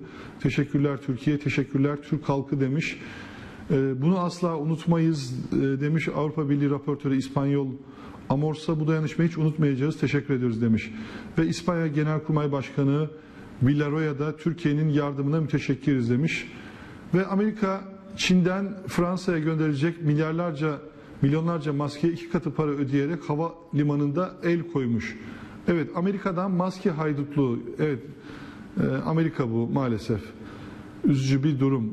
Ve Amerika e, Federal Acil Durum Yönetimi Ajansı salgında kullanılmak üzere Pentagon'dan 100 bin adet ceset torbası istemiş. Valla e, ilginç bir durum. Ve kontrollü tavaf diyor Suudi Arabistan Kabe'yi yeniden ibadete açtı. Tavaf edenler sosyal mesafe kuralına uyarak ibadetlerini gerçekleştirmeye başlamışlar. Bir dostumuz sosyal medyasında vardı. Ee, bir temizlik işçisi e, tam Kabe'nin yanında tek başına e, namaz kılıyordu. E, işte ilginç de bir yorum yapmıştı. Görüyorsunuz dünya tarihinde bir ilk e, Kabe'de e, bu şekliyle ilk kez bir uygulama yapılıyor. Ve mücadeleyi sulandırana izin vermeyiz. Ee, Başkan Erdoğan AK Partili belediye başkanlarına seslenirken sinsi düşmana karşı ortak mücadele vurgusunu yaptı. Gün İstiklal Harbimizde olduğu gibi birleşme günüdür. Ee, diyor. Haberi biraz yakınlaşalım mı? Sayın Cumhurbaşkanı ne söylemiş? E, toplumu birleştirici mesajını okumak istiyorum. Sevgili Safat bu şeye yakınlaşalım. Cumhurbaşkanımız bugünlerde önemli açıklamalar yapıyor. Toplumu ayrıştırıcı değil, birleştirici mesajlar veriyor. O yüzden mücadeleyi sulandırana izin vermeyiz diyerek gün İstiklal Harbimizde olduğu gibi birleşme günüdür. Hukuksuzluk ve tehlikeli söylemlerden e, ayrışma peşinde olanlara izin vermeyiz. Salgınla mücadeleyi sulandırmaya kimsenin hakkı yok. Bu süreçte mücadeleyi sekteye uğratacak en büyük tehdit ümitsizliktir. 83 milyon arasına ayrılık virüsünü bulaştırmadıkça koronavirüsüyle mücadelemiz çok daha kolay olacaktır. İşte sosyal medyada bu açıklamasındaki bu görüntüyü resmi görebiliyor musunuz? Resim var mı? Niye e, burada CHP'li belediyeler yok e, diye tepki gösteren mesajları da sosyal medya üzerinden paylaşıyorlar. Ve iyi haberler de geliyor. Aşı ve ilaç için 14 yerli proje Sanayi ve Teknoloji Bakanı Mustafa Varank dün bunu açıkladı. 7 aşı ve 7 ilaç geliştirme projelerinde çalışmalar başladı diyor. Bakın e, Varank çok hızlı netice alınacak. Yenilikçi yaklaşımlar belirlendi diyerek bu konuda Türk bilim adamlarına güvendiğini söyledi. İnşallah olur diyelim. Yeni ilaç Covid-19'u hapsetti. Bakın Çin'de antikorla geliştirilen bir ilaç virüsün tutunduğu protein parçalarını sarmaladı ve bağışıklığı güçlendi e, güçlendirdi. Yani bunların hepsi şu anda deneme aşamasında olduğu için tam bir ilaç bulunabildiği hiç kimse diyemiyor. Bunu da üzülerek söylüyorum ama en kısa sürede inanıyoruz ki tüm dünyada bilim adamları ortaya e, bir şey çıkaracaklar. Kanserimu virüsü engelledi diyor haber bir başka ilginç haber. Ve Avustralya iki aşı birden deneyecek diyorlar. Ve Lübnanlı doktordan vefa örneği bakın cephede savaşırken bırakılıp kaçılır mı? Türkiye'de 16 yıldır görev yapan Lübnanlı doktor başka bir ülkeye gitmeyeceğini söyleyerek bu memleketin bana çok emeği geçti. Savaşta cephe bırakılıp gidilmez diyor. Ve biz bize yeteriz kampanyasında e, spor dünyası ve azınlıklar da katkı verdi. E, bakın MB'nin 100 milyonluk bağışıyla rakam 846 milyon 606 bini oldu. Ve e, 18.757 test 2456 yeni vaka vaka sayılarındaki artış testlerdeki çoğunluk ve yoğunlukla artmaya devam ediyor. Hemen yan tarafındaki habere yoğunlaşalım Sefat. Akşam gazetesi. Korku sendromuyla koronayı yenemeyiz. Bilim Kurulu üyesi Profesör Çelik'ten uyarı. Korona korku sendromu oluştu. Maçı panikle kazanamayız. Sakin olmamız lazım. Toplumu şu anda en çok korkunun tehdit ettiğini belirten Çelik şunları söyledi. İnsanlar birbirlerine vebalı gibi yaklaşmamalı. Virüs ömür boyunca insan vücudunda kalmıyor. İnsanlar korku yaşıyor. Birincisi test yaptırmak istiyor. Ancak bu sonradan virüsü alamayacağımız anlamına gelmez. Yani ikincisi test yaptırmaktan kaçınılıyor. Bu da yanlış demişler. İşte dün hayatını kaybeden Profesör Doktor Cemil Taşçıoğlu'nun da cenazesiyle ilgili haber akşam gazetesinde yer almakta. Ve rakamlar dünyada vaka sayısı 1 milyonu açtı. Ve e, bakın e, 1 milyon vaka, ölüm 51 bin, iyileşen 210 bin. %20'lik bir iyileşme ve %5'lik bir ölüm oranı var. İtalya'daki e, ölüm sayısı şu anda dünyada birinci sırada. E, Amerika 238 bin vakayla vaka yani şu anda dünya, dünyadaki vakaların dörtte biri Amerika'da. Bu da ilginç e, bir durum. İşte İtalya'daki vakalar, Çin'deki vakalar ve e, ölüm oranları e, böyle yansıyor. Sözcü gazetesiyle devam ediyoruz sanırım. Sözcü gazetesi var sırada. Evet.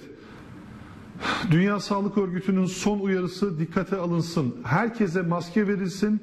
Herkes maske taksın. İki gün öncesine kadar sadece hastalar maske taksın, virüs saçmasın deniliyordu. Karar değişti. Bakın bu çok önemli bir karar.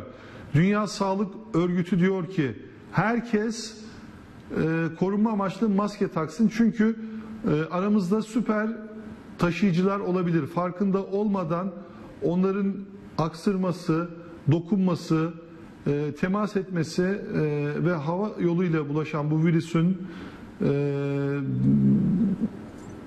korunmak adına e, Amerika'daki bir son araştırma virüsün 8 metreye kadar bulaşma riski sonrasında Dünya Sağlık Örgütü acil toplandı. Ee, sesi bir alır mısın yayından?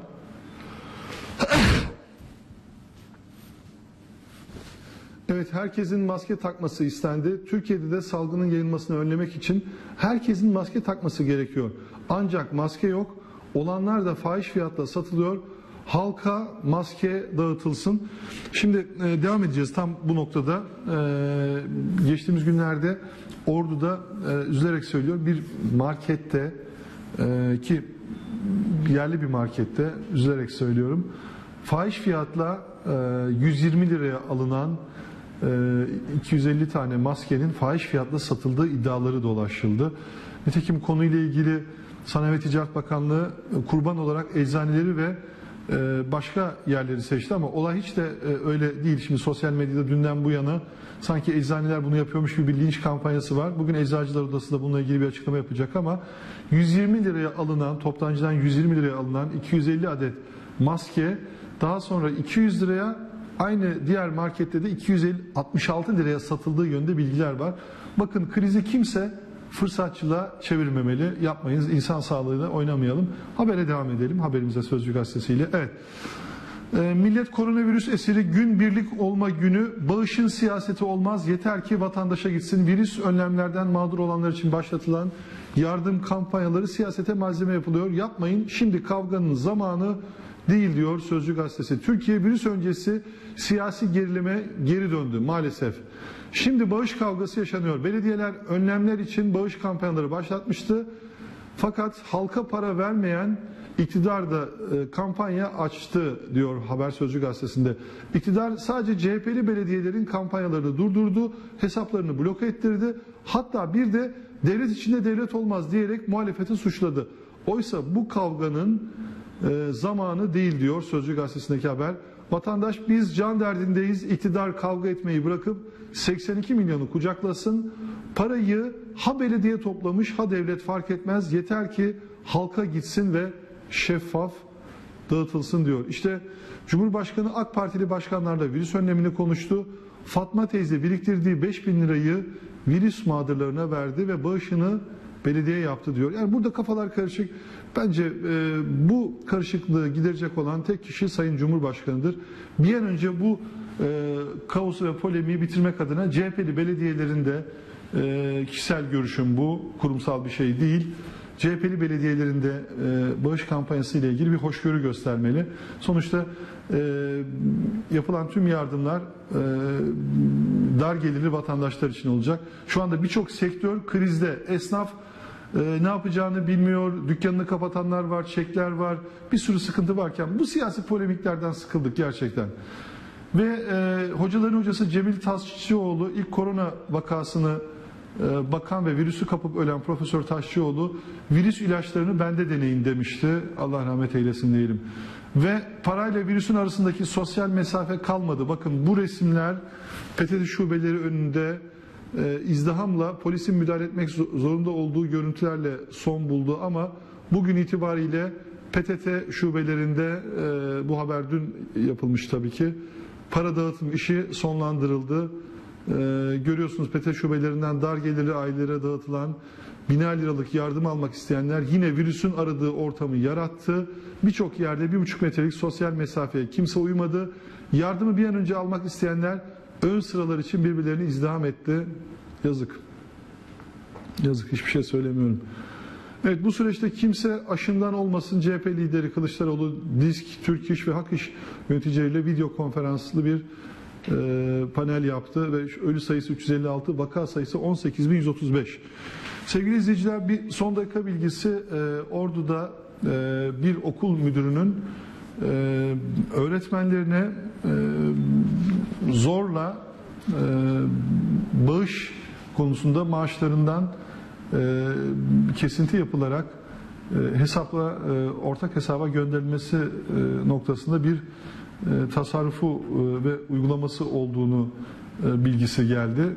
Belgeler, bilgiler e, bizde mevcut ama yani sorumlu yayıncılık adına bunu yapmıyoruz. Kimsenin zorla e, bağış yapması ya da bunu kendi okulunun, kurumunun ya da camiasına artı yaratacak bir pozisyona sokması e, hele şöyle özel günlerde doğru ve akılcı değil. Zaten yardım yapmak isteyen iş adamlarımız, STK'lar, ekonomik durumu iyi olanlar e, gerekli yardım yapıyorlar ama Zaten tek bir maaşla geçinen bir öğretmenden alacağınız 10 lira bile bakın 10 lira bile 10 lira bile önemli diyoruz. Gün evet birlik beraberlik günü, evet gün dayanışma günü ama bu konudaki e, is- e, durumu isteğe bırakmanız gerekiyor. Sevgili müdürüm aman dikkat edin. E, sonradan sevdiğimiz, değer verdiğimiz dostlarımızın, arkadaşlarımızın sıkıntı yaşamasını istemeyiz. Öğretmen arkadaşlarımızı da huzursuz etmemenizi rica ediyorum. Ee, Söylemimiz bu. Evet, bir diğer gazetemizde devam edelim. Türkiye Gazetesi, evet beklenen bir durumdu bu. 60 yaş e, üstüne ve 18 yaş altına yasak geliyor. Bence bu 18'i biraz daha artırabiliriz aslında. Üzülerek söylüyorum. İşte 65 yaş üstüne uygulanan kısıtlama 60'a çekilecek. 18 yaşın altındakiler sokağa çıkışı yasaklanacak. Şu görüntüde Antalya'dan çekilmiş 50 kişi doğum günü kutlamışlar bir de dansöz oynatmışlar utanmadan. Polis de böyle ibret e, olacak bir uygulama yapmış. Onları biraz sokakta soğukta bekletmiş. Sosyal mesafe kuralını da hatırlatarak bekletmiş. Aldıkları bu tarihi derse Ordu'da da uymayan gençler var. Onu da söyleyeyim Ünye'de, Ordu'da, Fassa'da. Evet yasak geliyor. Ee, Türkiye'de sosyal izolasyon için yeni tedbirler devreye alınıyor. Virüsten kayıpların 60 yaş civarında olunca bilim kurulundan bir tavsiye geldi.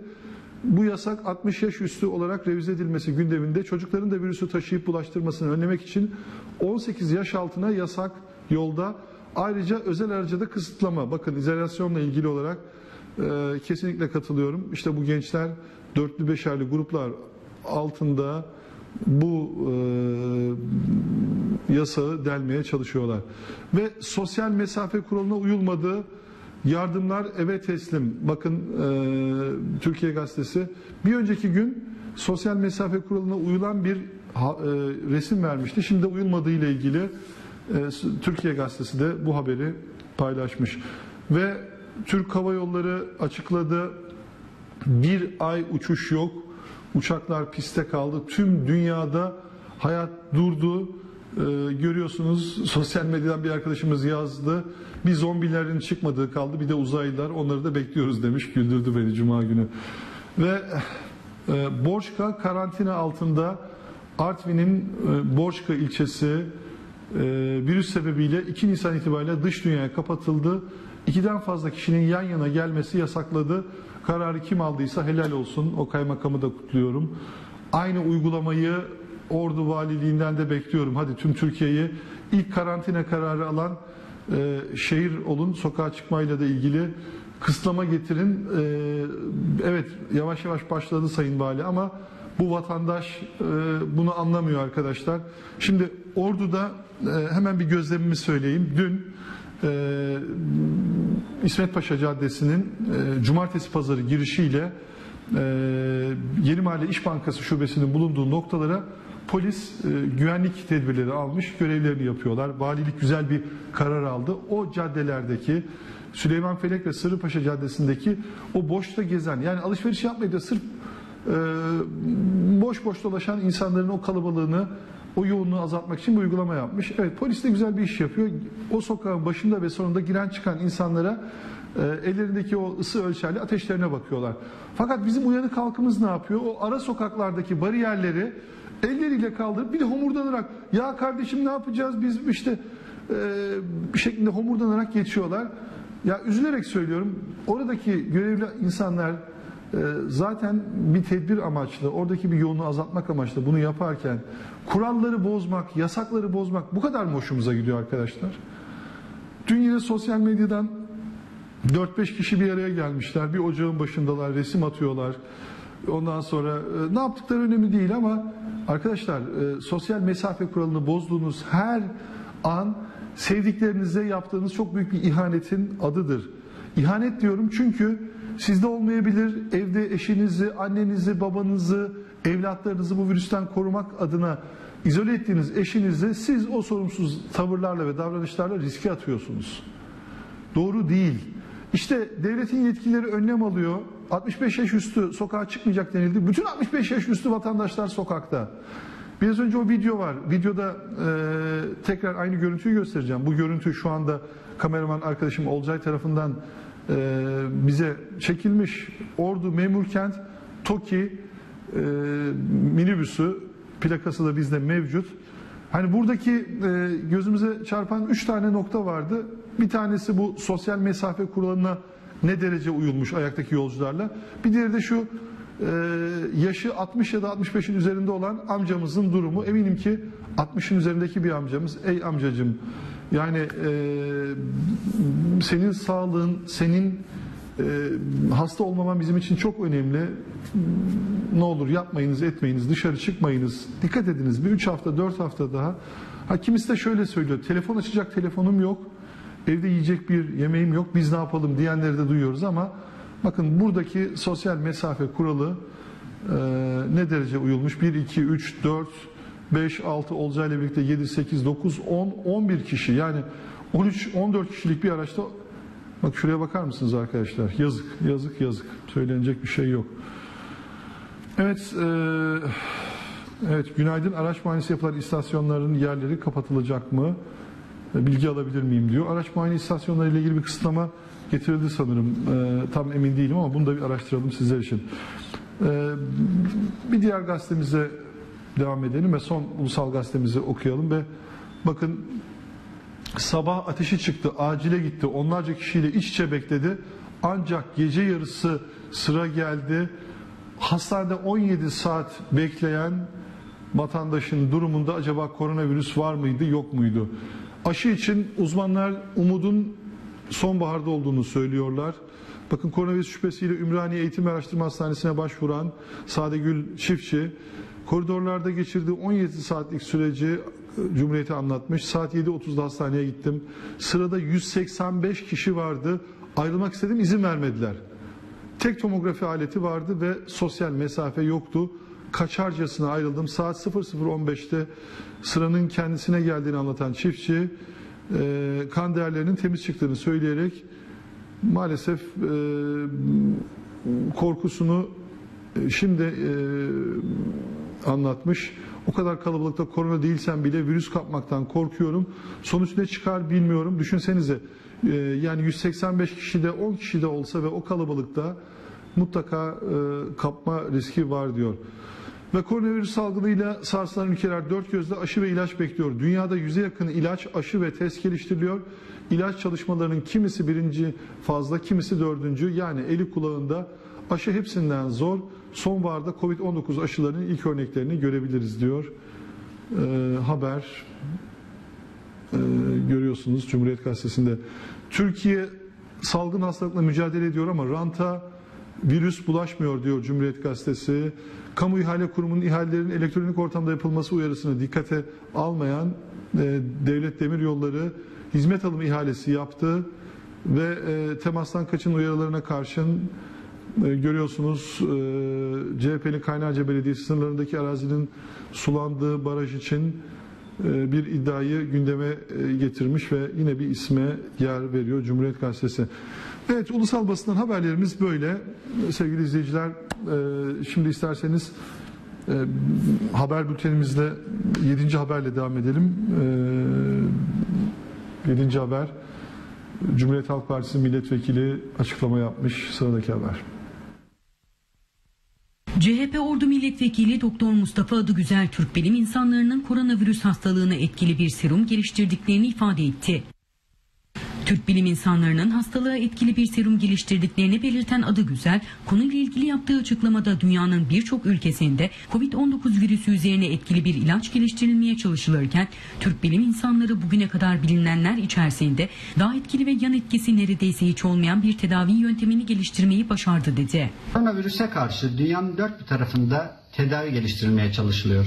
Türkiye'de de bilim insanları bu konuda çalışmalar yapıyordu ve nihayet sevindirici bir haber aldık.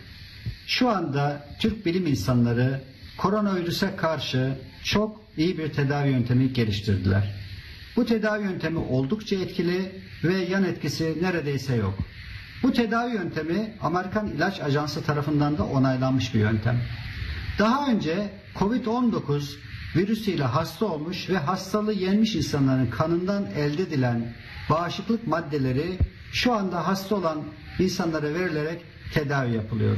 Bunun adı immün plazma bağışıklık serumu. Türk bilim insanları bunu başardılar. Evet e, bu arada birçok izleyicimiz mesaj göndermiş. Şimdi gördüm Veli Eroğlu Almanya'dan günaydın demiş. Erdoğan Çiçek Silivri'den selam demiş. Telat Çavaş günaydın demiş. E, Bursa'dan selam, sevgi ve saygılarımı gönderiyorum. Günaydın dost demiş. Size de günaydın sevgili dost. Nihat Alkan Perşembe ilçemizden günaydın evde kal ordum demiş. Mehmet Yılmaz Görköy'den selamlar demiş. Tuncay Üstün günaydın iyi yayınlar abi. Mardin Kızıltepe'den selamlar saygılar. En kısa sürede bu salgın hastalıktan kurtulmak için ne olursa olsun duyarlı olup evde kalmamız ve en kısa zamanda sağlığımıza e, toplum olarak kavuşmamız gerekiyor diyor. Salim Kaya günaydın demiş. Teşekkür ediyoruz. Valla birçok dostumuz arkadaşımız günaydın mesajı göster göndermiş ama bu yoğunluk içerisinde bazılarını okuyamamışız. Kusura bakmasınlar. Okuyamadığımız mesajını duyamayan izleyicilerimiz varsa mesajlarını tekrar iletsinler. Onlara da günaydın diyelim. Ee, burada hep birlikte e, Aytaç, sevgili Aytaç Atlı abi kolay gelsin demiş. Sevgili Aytaç kardeşim sana da kolay gelsin. Ee, selamlar sevgiler Ulu Bey'e, sana, Çamsan'a, Çamsan çalışanlarına. Sevgili Sezgin Aksoy, Akın Bey günaydın, iyi yayınlar dilerim demiş. Sevgili doktorumuz sana da günaydın, kendine iyi bak, aman dikkat et. Bülent Akçay sabırla ilgili güzel bir yazı göndermiş. Sabrediyorum, biliyorum ki çaresizi çare yapan, zoru kolaya çeviren Rabbim var. Evet, bu aralar sabretmemiz gereken zamanlar. O yüzden bilmeliyiz ki çaresizi çareli yapan, zoru kolaya çeviren bir Rabbimiz var. Güzel bir yazı göndermiş Bülent kardeşim. Sevgili İlhan Şahin lütfen dışarı çıkmayın demiş. Halil Cebeci evde kal ordu demiş. Ee, teşekkür ediyoruz. Ee, Fatsa'ya da selam. Halil Başkan'a da selam. Ya düşünsene sevgili Halil Başkan. Daha geçen iki hafta evveline kadar Fatsa'daki trafik kazaları ve önlem alınması gerektiğini söylüyorduk ama bir virüs bütün trafiği e, nasıl dizayna soktu? Garip. Yani e, söylenecek bir şey yok. Evet Serkan e, diyor ki günaydın Akın Bey vatandaşla tokalaşma sarılma gibi eylemler yok ama sosyal mesafe korunmuyor panik yok önlem var demiş. Çok güzel doğru söylüyorsun. Evet teşekkür ediyoruz diyelim. E,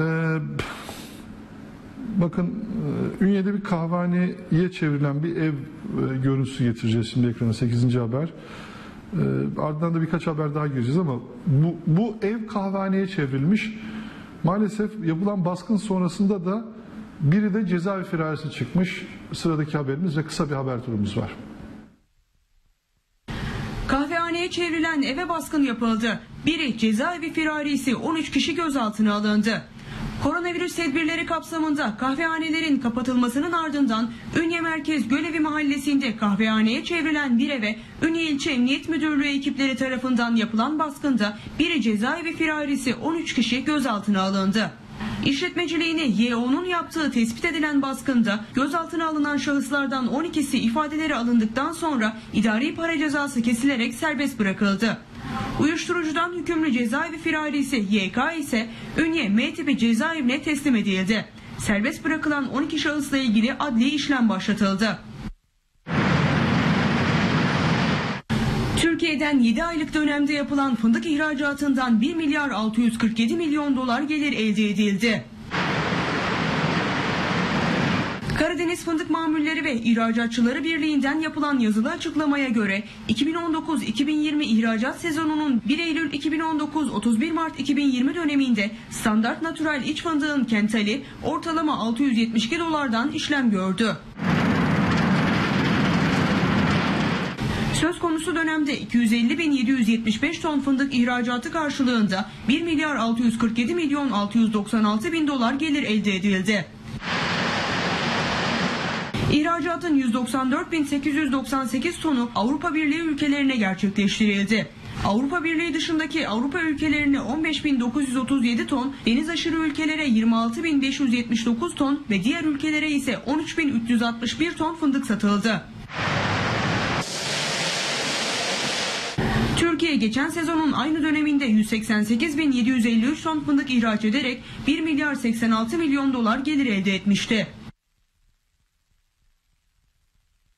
Biz İstanbul'dan geldik. Ee, burada evimiz vardı. Evin tadilat işlerini falan hallediyoruz. Abonelik işlemlerini falan hallediyoruz. İşlemlerimizi halledip tekrar evimize gideceğiz. Ee, dışarıda gezmenin pek sağlıklı olduğunu düşünmüyoruz. Tüm dünyadaki insanların sağlığını tehdit eden boyutlara gelen koronavirüs salgınının ülkemizde yayılmasını önlemek amacıyla ulusal çapta alınan tedbirlerin yanı sıra yerelde de önemli tedbirler alınıyor. Kimliğinize bakabilir miyiz?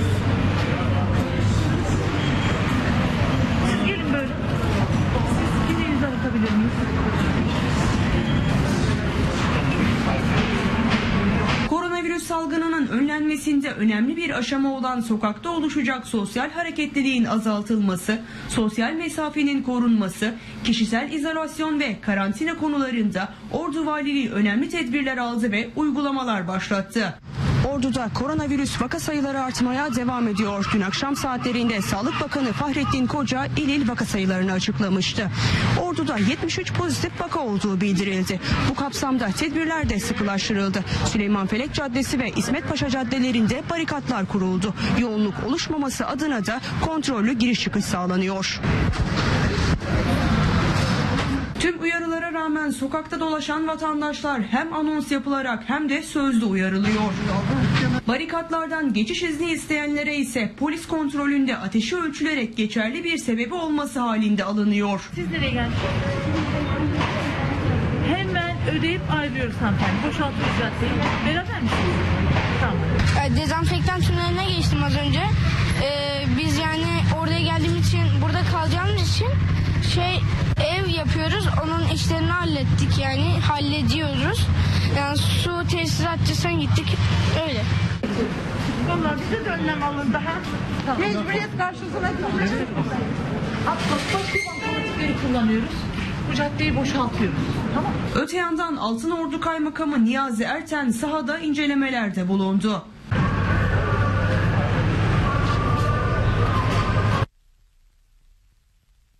Görüntüyü dondurun ne olur dedim. Beni de bir ekranın bir tarafına ver sevgili Safa. Bakın kaymakam dolaşıyor, yetkililer var, hala kalabalık var. O görüntüyü bir e, e, hareketli hale yapabiliyor muyuz? Biraz daha geriden itibaren. Bakın şimdi kaymakam, zabıta daire başkanı, kolluk kuvvetlerinden arkadaşlar dolaşıyorlar. Ama e, hala bir yoğunluk var arkadaşlar. Yani e, biz ne kadar e, kural koyarsak koyalım, ne kadar bariyer koyarsak koyalım, evet bankaya gitmeyecek miyiz diyenleri duyuyorum. Dükkanımızı açmayacak diyen, açmayacak mıyız diyen esnaflarımızı e, duyuyorum, görüyorum. Bakın böyle giderse açacak dükkanımız, gidecek bankamız olamayacak. Bu virüsün yayılma hızını, virüsün ne kadar sürede etkisini kaybedeceğini kimse bilemiyor. Aşı bulup bulunmay panik havası yok ama e, tedbir de almamız gerekiyor arkadaşlar. Yani eminim ki işi olan insanlar şu anda dışarıdalar. Ama yine orada bakın şu arkadaki görüntüde bir yoğunluk olduğunu e, hissedebiliyoruz. Aman dikkat diyelim. Aman dikkat, dikkat ediniz, dikkat ediniz, dikkat ediniz. Evet, e, valla tedbirler artırılıyor ama ne derece e, etkili oluyor bunu bilmiyoruz. 12. haberle devam edelim. E, Dün e, sevgili Nevzat Akat'a gazeteci arkadaşımız sokakta dolaşıyordu. Elinde e, kamerasıyla belirli saatlerde canlı yayın yapıyor. Kalabalık var mı yok mu insanlar kurala uyuyor mu uymuyor mu diye.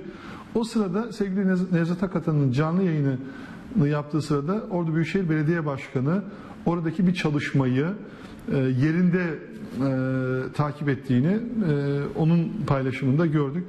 Valla sevgili başkanı kutluyorum. E, takdir ettim o görüntüyü gördüğüm için. E, yani şartlar, koşullar ne olursa olsun ordunun iyileşmesi için birçok noktaya kendisi bizzat giderek oradaki ekip arkadaşlarını gözlemliyor. E, çok güzel bir proje ortaya çıkartıyorlar. Belki şu trafiğinde e, azalması, insan popülasyonunun azalması bu işleri daha rahat yapmalarına vesile oldu ama e, Ordu Büyükşehir Belediyesi'nde de çeşitli vakalar olduğunu açıklamıştık geçtiğimiz haftalarda. Onlara da acil şifalar diyelim. E, sıradaki haberimizi size izletelim.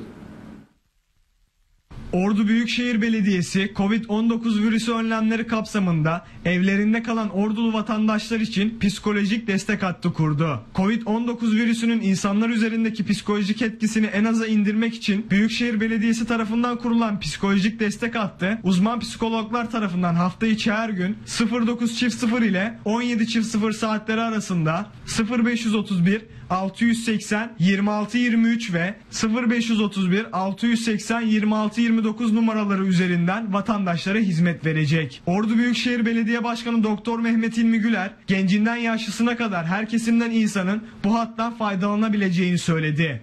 Ordu Büyükşehir Belediyesi Sosyal Hizmetler ve Muhtarlık Daire Başkanı Bekir Karakış, hattın vatandaşların hizmetine açıldığını belirterek bilgiler verdi. Bakanımızın insanımız olan hassasiyeti noktasında psikolojik destek hattı bugün itibariyle başlamış bulunmaktayız. E, Genç, çocuk e, ve büyüklerimize, ailelere karşı e, stres, sıkıntı ve kaygılarıyla alakalı psikolog arkadaşlarımız aracılığıyla bugün itibariyle bu hattımızı halkımızın hizmetine sunmuş bulunmaktayız. Ordu Büyükşehir Belediyesi uzman psikoloğu Büşra Günaydın ise psikologlar olarak her zaman vatandaşların yanında olduğunu belirtti. Amacımız şudur, insanların e, evde e, kalma süreleri uzadı. Kalma sürelerinde aile içi problemler olabiliyor. Aile içi, içi iletişimlerde sorunlar olabiliyor. Bu noktalarda daha nasıl verimli olabiliriz hedefliyoruz. Sadece aile içi değil, bireysel anlamda da yaşlılarımıza, engelli vatandaşlarımıza da bu konuda yardımcı olmayı hedefliyoruz. Çalışma saatlerimiz şu şekilde. Sabah 9, akşam 5 arasında hafta içi her gün psikolog arkadaşlarımızla birlikte bu hizmeti vermeyi hedefliyoruz.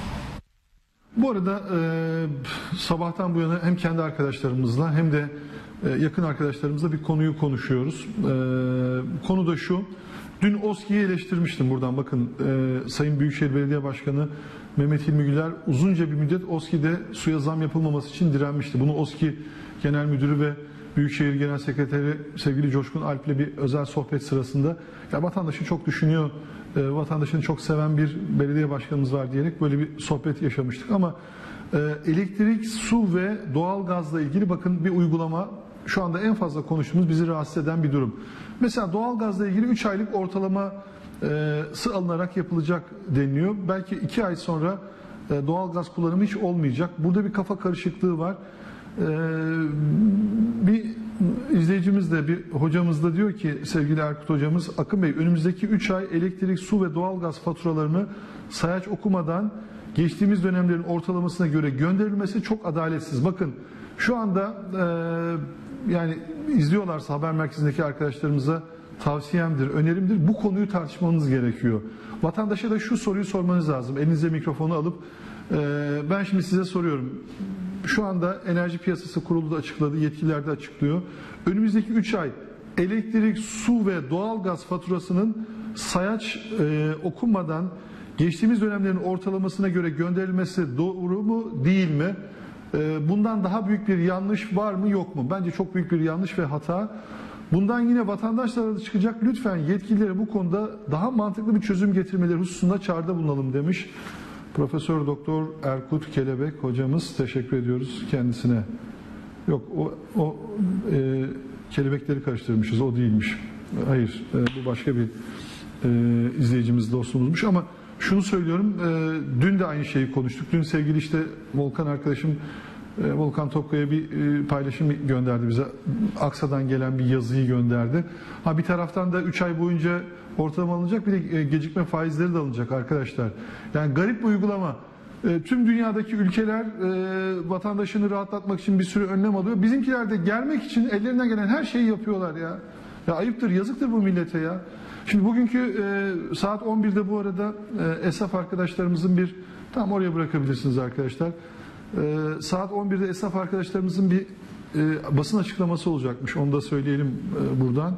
Sebebi de şu biraz önce gördüğünüz görüntülerin e, sokağa çıkma kısıtlı yapıldığı yerlerdeki esnaflar e, müşterilerimiz bize gelemiyor, alışveriş yapamıyor diyorlar ama alışveriş yapmak isteyenlere izin veriyorlar. Onda bir e, yanlışlık olmasın arkadaşlar. E, ne kadar yasak koyarsak koyalım insanlar sokağa çıkma yasağını deliyorlar. Ne kadar e, bizi rahatlatacak e, merkezi hükümetimiz, devletimiz desek bile her gün önümüze saçma sapan bir şeyle geliniyor. İşte bu elektrik, su ve doğalgaz faturalarının sayaç okunmadan 3 aylık ortalama alınarak yapılıyor olması kadar kafa karıştıran bir başka durum yok diyorum. Bu konuda da yetkilileri insafa davet edip başka bir tedbir bulmaları gerektiğini e, rica ediyor ve öneriyorum. Kısa bir reklama gidelim.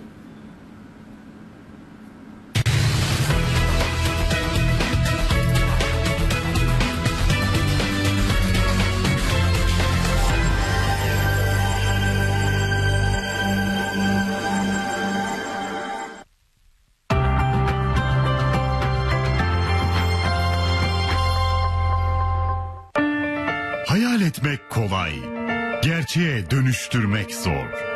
İstemek kolay, birikim yapmak zor. Ordunun eşsiz doğasında, üniversiteye komşu, benzersiz bir hayatı yanı başınıza getiren Nordlof Taki Yener konutlarıyla kalıpların ötesinde yepyeni bir yaşama hazır olun. Şimdi 129 bin liradan başlayan fiyatlar 80 bin lira peşin aylık 1000 lira sabit taksit seçenekleriyle. Üstelik banka yok, faiz yok, kefil yok, ev sahibi olmak var.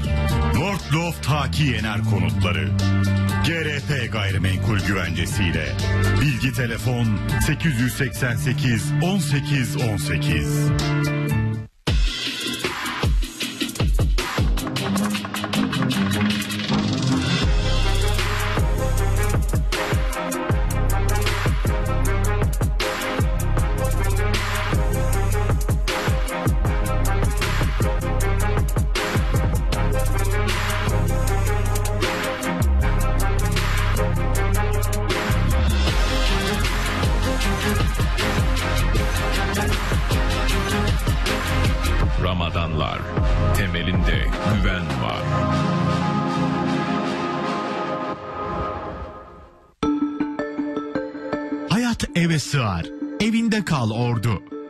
siparişinizi verin, alışverişiniz evinize gelsin. Ankamar kalite ve güvencesiyle WhatsApp sipariş hizmetimiz başlamıştır.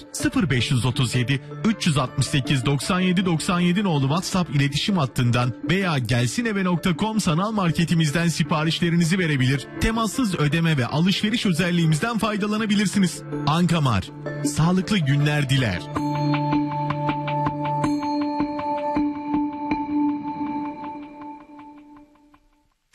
Yaşam için en doğru, yatırım için en karlı seçim. Neba Grup'tan Neba Trend konutları. Her geçen gün yatırım değeri artan Cumhuriyet Mahallesi'nde yer alan Neba Trend, 3 artı 1, 140 metrekare daire seçenekleri, lokasyonu, panoramik görüş açısı, çocuk oyun alanları, yüzme havuzu, ticari alanları, her daireye özel otoparkı, havaalanına 11 kilometre, Ordu Giresun Karayolu'na 150, Ordu Üniversitesi'ne 1500, denize 800 metre mesafesiyle sizleri ayrıcalıklı bir yaşama davet ediyor. Ordu'nun yeni trendi Neba Trend. Bilgi telefon 0532 542 9150. 444 52 13 ara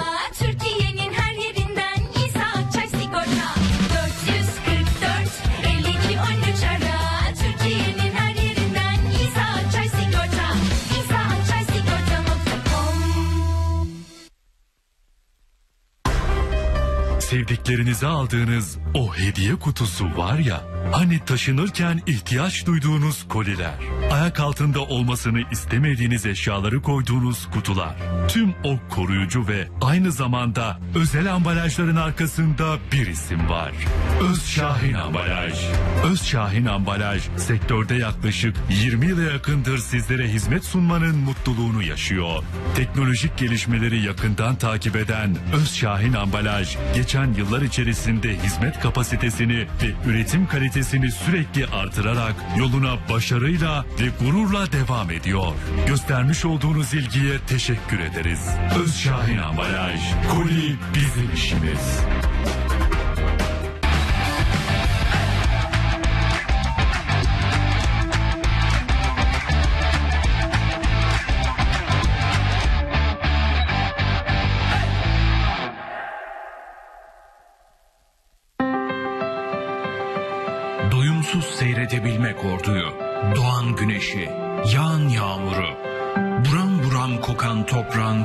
Seyredebilmek, boylu boyunca Karadeniz'in mavisini, ordunun yeşilini, sarısını, morunu, beyazını, her halini seyredebilmek. Kayıp giden zamanı, iyiyi, güzeli, insanı seyredebilmek, hayatı en doğru yerden. Seyir Park, Şahincili'de yükseliyor. Siz buraya baktığınızda ne görüyorsunuz? Biz mutlu yüzler görüyoruz. Parkta eğlenen çocukları, yeni umutları, yeni mutlulukları görüyoruz. Büyük işler, büyük hayallerin eseridir. Yapılarımız bizim en büyük eserimizdir. Alanlar İnşaat. Alan kazanır.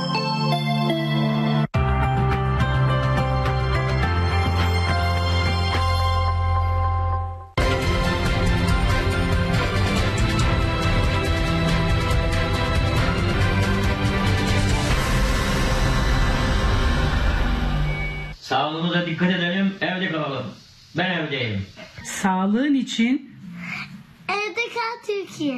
Türkiye'de de, Türkiye'de de. Evde kal, hayatta kal Türkiye. Ben 66 yaşındayım. Devletin verdiği şeye uyuyoruz biz. Evden çıkmıyoruz. Sağlıklı kalmak için evde kal Türkiye. Herkes evde kalsın. Ben sevdiklerim için evde kalıyorum. Sen de evde kal Türkiye. Evet, ben 80 yaşındayım. Evden çıkmıyorum.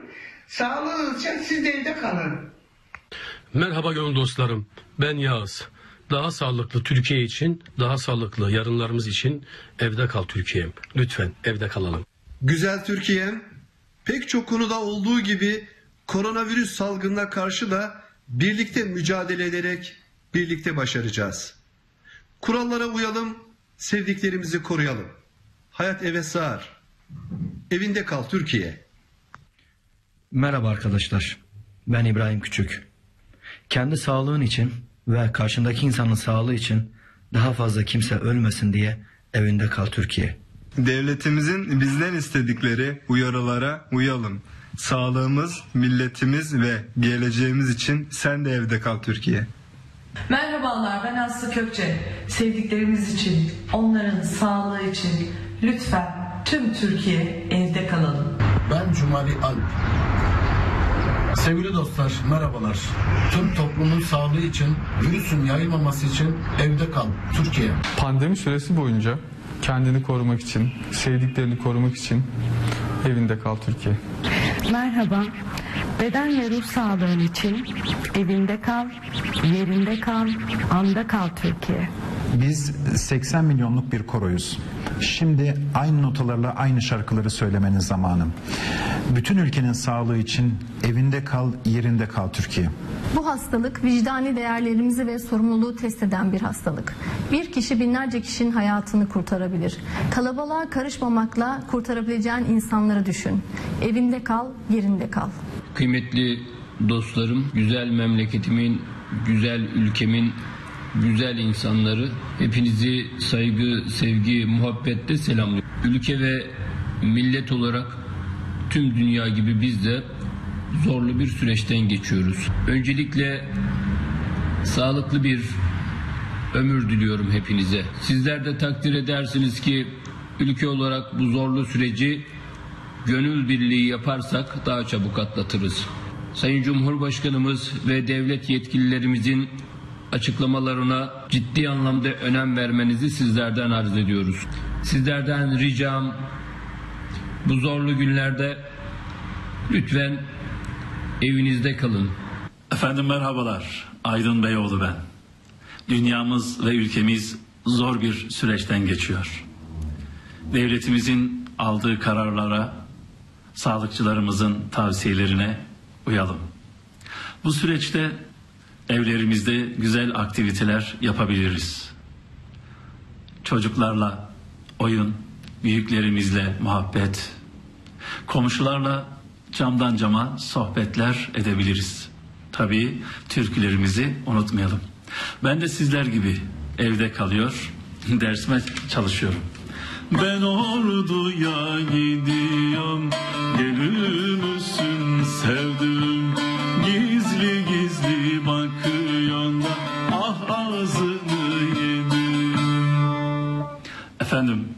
sevgiyle kalın, neşeyle kalın, evde kalın.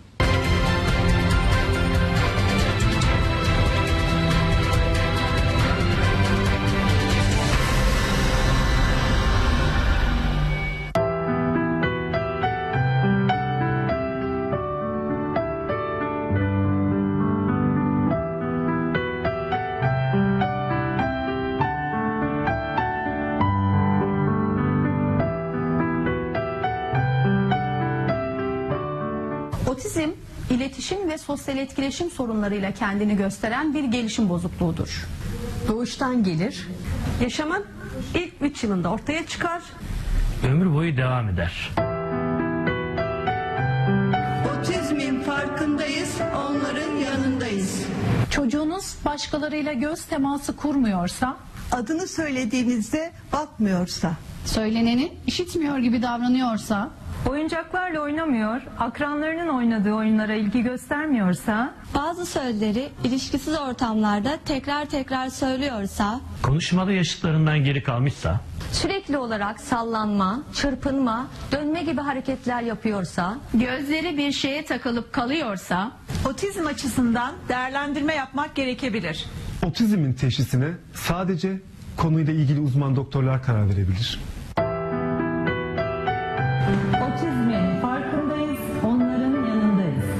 Otizmli çocuklar parlak dönen nesnelere ilgi duyarlar. bazı ses, nesne ya da kokulara karşı aşırı hassasiyet gösterebilirler. Alıştıkları bir düzen ya da rutinin bozulmasından rahatsız olurlar. basit nedenlerden dolayı doğru iletişim kuramayıp öfke nöbeti geçirebilirler. İletişim kurmada ve başlatmada sıkıntı yaşarlar. Bu nedenle karşısındakinin elini tutarak istediğini anlatmaya çalışırlar. Otizm kişiden kişiye farklı etki eder. Otizmin etkilerini ağır yaşayan çocuklarda epilepsi, zihinsel yetersizlik ve saldırgan davranışlar görülebilir. Otizmin farkındayız, onların yanındayız. Otizmi tamamen ortadan kaldıracak bir ilaç veya tedavi yoktur. Sadece bireyselleştirilmiş eğitim programlarıyla Otizmli çocukların sorunlarını azaltmasını, Davranışlarını yönetmesini, Temel becerileri kazanmasını Bağımsız yaşayabilmelerini sağlayabiliriz. Bu nedenle otizmde erken tanı, eğitimin bir an önce başlaması açısından çok önemlidir. tek tek. Otizmin farkındayız, onların yanındayız. Otizmli bireylerin okulda öğretmenlere, parkta arkadaşlara, sokakta sizlere yani hepimize ihtiyacı vardır. Otizm eksiklik değil farklılıktır. 2 Nisan Dünya Otizm Farkındalık Günü, Nisan ayı Otizm Farkındalık Ayı. Otizmin farkındayız,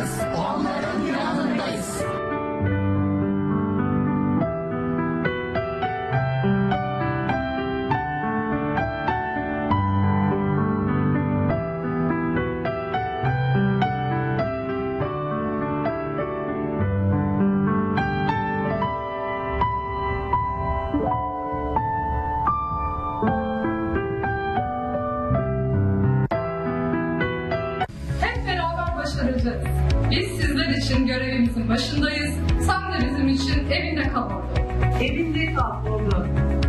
Evinde kal orada. Evinde kal orada. Evinde kal orada.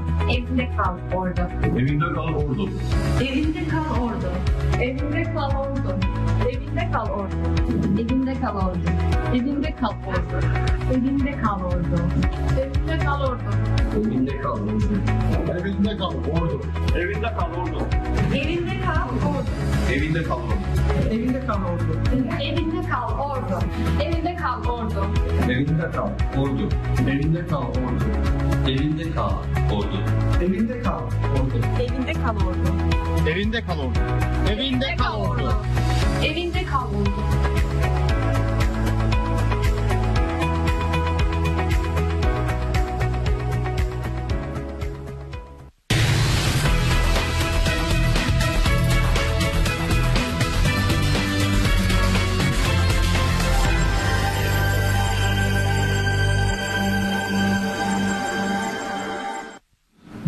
Sağlık Örgütü uyarıyor, maskelerinizi takın. Evet, farkındalık olsun diye mi takalım e, yoksa niye takalım bilmiyorum ama e, son e, iki günkü Amerika'daki bir araştırmanın virüsün 8 metrelik mesafe kuralını e, tanıdığını, e, 8 metreye kadar e, havadan bulaşabileceğini söylediği için e, artık sokağa çıkarken hepimiz mutlaka yanımıza bu belki de en basit düzü daha böyle havalı olanları var, daha pahalı olanları var ama kendinizi ve sevdiklerinizi korumak adına sokağa ne için çıkıyor e, olursanız olun e, maskenizi takmanızı rica ediyoruz. Tüm görevli arkadaşlarımızın da aynı şekilde maskelerini takmalarını istiyoruz, önemsiyoruz. Belediye yetkililer maske dağıtıyorlar. İşte o yüzden sokağa çıkarken şu basit hareketle e, virüsün ağız yoluyla bulaştığı e, söylenildiği ve 8 metreye kadar da geçebildiği, havada kalabildiği e, açıklamalarından sonra son iki gün itibariyle Dünya Sağlık Örgütü e, diyor ki lütfen maskenizi e, takmadan sokağa çıkmayınız diyor. Önemsiyoruz. E, herkesin bugün sokağa çıkarken evet evde kalanların bir sıkıntısı yok. Evde kal çağrılarımıza uyanlar zaten bu konuda gerekli tedbirleri alıyorlar. Ama bir işiniz var. Markete gideceksiniz, bankaya gideceksiniz. Mutlaka maskenizi takmanız. e, Daha sonra dışarıdan eve geldikten sonra da o 14 tane kural var. Bir aydır açıklıyoruz hijyen kuralları. Hepimiz temizlik hastası olduk ama doğrusu bu. E, Dışarıda ayakkabımızı bırakıp daha sonra kıyafetlerimizin belli bir müddet havalanması. Metal aksesuar bu aralar takmamanızı yetkililer uyarıyorlar. Ee, özellikle yüzük, saat, cep telefonu, metalde virüsün daha fazla e, temas ettiği ve kaldığı tespit edilmiş. O yüzden herkes e, mutlaka dışarı çıkmak zorunda olanlar, hani bir sürü kalabalık e, yoğunluğu görüyoruz. E, insanların birçoğunun belki işleri var eyvallah ama bari maskenizi takın. E, böyle giderse sokağa maske ve eldiven takmadan çıkmak da e, bu kısıtlı günlerde yasaklanabilir. Çünkü e, kuralsızlık konusunda inanılmaz kontrolsüz bir şekilde yaşıyoruz. Bu arada saatler 10.02'yi gösteriyor. Çok gariptir. Bu saatlerde e, bu cadde bu kadar kalabalık değildi ama ne zaman ki yasaklandı ve şu anda henüz emniyet bu taraf değil, diğer taraf için söylüyorum Sefat. Akif oradan bir e, görüntü alabilirse Arzu Hanım'ın muhasebenin e, balkonundan o görüntüyü vermek istiyorum. Sabahın bu saatlerinde normalde o sokakta tek tük insanlar olurdu. Şu an inanılmaz e, bir hareketlilik var. Sebebini şöyle yorumladı bir esnaf arkadaşım. Reklam arasında esnaflarımızla sohbet ettim. Vallahi dediler bizim vatandaşımızın yasağı zaafı var. Şu anda orada bariyerlerin koyuluyor olması bile ya oradan geçeyim. Hadi bana görevli bir şey sorsun. Ateşimi ölçtüreyim diye merakla geçenler bile varmış arkadaşlar. Yani ateşini ölçtürmek için o sokaktan giriş çıkış yapan insanlar bile varmış. Yani bu kadarına da pes doğrusu diyelim. Cemal Genççe Çatalpınar'dan günaydın Akın Bey hayırlı cumalar demiş. Teşekkür ediyoruz. Sevgili Bülent bu mesajı tekrar göndermiş. Okumuştuk bir kere daha söyleyelim. Tüm iyi şeyler sabırdan sonra gelir demiş. Ee, o Facebook sayfasını açar mısın Sefat? Sana göndermiştim. Korgan Express ile ilgili. Evet, e, bir haberi okuyalım çünkü e, sevgili Yılmaz Bibi bizim uzunca bir dönem bizimle birlikte görev yaptı. Evet sevgili takipçilerimiz dün akşam başlattığımız kitap kampanyası bugün itibariyle sona erdi. Bu akşam tüm katılımcı- katılımcılarımıza sisteme yükleyerek kazandığı e, programı otomatik olarak kendileri belirlemiştir. İşte bizlerden hediye kazananlar, e, kitap hediyesi kazananlar işte burada diyorlar. Sevgili Yılmaz Bibi yine farkındalığını göstermiş Korgan Express. Burada da e, kendisinden kitap kazanan izleyicilerin isimlerini e, yazmış. Bir kitap da bize gönderiyorsun sevgili Yılmaz Bibi. Korgan Express ve bu tip sosyal medyadaki farkındalık projelerini önemsediğimizi bir kere daha söyleyelim. Yani insanları böyle dönemlerde kitap okumaya teşvik etmek de güzel. Sosyal medyadan canlı yayın yapmak artık çok popüler oldu. Görüyorsunuz hem Instagram'da hem Facebook'ta hem birçok sosyal mecrada ünlüler artık konserlerini e, bu mecralar üzerinden veriyorlar ya da e, spor yapanlar ya da spor yaptıran pilates hocaları ya da başka spor uzmanları canlı bağlantıyla bu meramlarını anlatıyorlar. Psikologlar terapilerini sosyal medya üzerinden veriyorlar. Ee, Öğretmenler, eğitimciler onları söylemiyorum. Onlar zaten öğrencileriyle yeteri kadar e, sosyal medya üzerinden e, ders konusunda görüşüyorlar. E, kolay gelsin diyelim. Ve İkizce'den de bir görüntü var. E, Ünye temsilcimiz sevgili Hakan Yıldız göndermiş. İkizce Kaymakamı Mustafa Berat Kasımoğlu koronavirüs salgın hastalığı ile mücadele kapsamında e, İkizce'de hemen hemen tüm kırsal mahalleleri tek tek geziyor ve incelemelerde bulunuyormuş. Ee, Valla kendisiyle de tanıştık. Çok başarılı, genç, dinamik bir e, kaymakam. Ee, küçük bir ilçede şu anda ama onu e, önümüzdeki günlerde inşallah büyük şehirlerde vali olarak görmeyi ümit ediyoruz. Yani birçok e, vali böyle ilçelerimizde kaymakamlık yapmışlardır. Sevgili Mustafa Berat Kasımoğlu kaymakamımız da geleceği parlak, istikbalin önemli e, devlet adamlarından birisi olmaya aday. Kendisine de selam, sevgi ve muhabbetlerimizi gönderiyoruz. İşte burada da vatandaşlarla bir araya geliyor. Bir resim daha vardı sanırım. Ondan sonra da mahalli basına bakalım. Evet görüyorsunuz sevgili kaymakamım eldivenlerini takmış, maskesi yüzünde dolaşıyor. Kolay gelsin diyelim. Dün Ordu valisi eleştirildi. Sosyal medyada özellikle bir önceki gün sokakta dolaşırken e, Sayın Valinin örnek olması gerekiyor. Niye maskesi yoktu dendi. Yani e, bakın yaptığınız her hareket topluma örnek olmak durumunda. İşte bir, dünkü haberde de Altın Ordu Kaymakamı sevgili Niyazi Erten'den bahsediyorlardı. Tabii ki onlar eminim ki çeşitli kuralları e, kaideleri bizlerden çok çok çok daha iyi biliyorlar ama vatandaş her konuda gözü kulağı sizlerin e, yaptığı hareketlerden o yüzden çok önemli görevleriniz var kolay gelsin diyelim. Vatandaş da her şeyi sorguluyor bu arada bu da böyle bir durum hani tebessüm edelim diye söyledim öyle e, sonuçta e, Kırklareli valisinin haberini okuduk Kırklareli valisi ve dört kaymakamımızda da koronavirüs tespit edilmiş. Umarım en kısa sürede iyileşirler. Kırklareli Valisi aynı zamanda Ünye Belediye Başkanı sevgili e, Hüseyin Tavlan'ın da e, eniştesi, ordunun da damadı. Onu da, ona da acil şifalar diliyoruz. Mahalli basına devam edelim. Fatsa ile başlayalım. Fatsa'daki mahalli basınımızda hangi haberler var?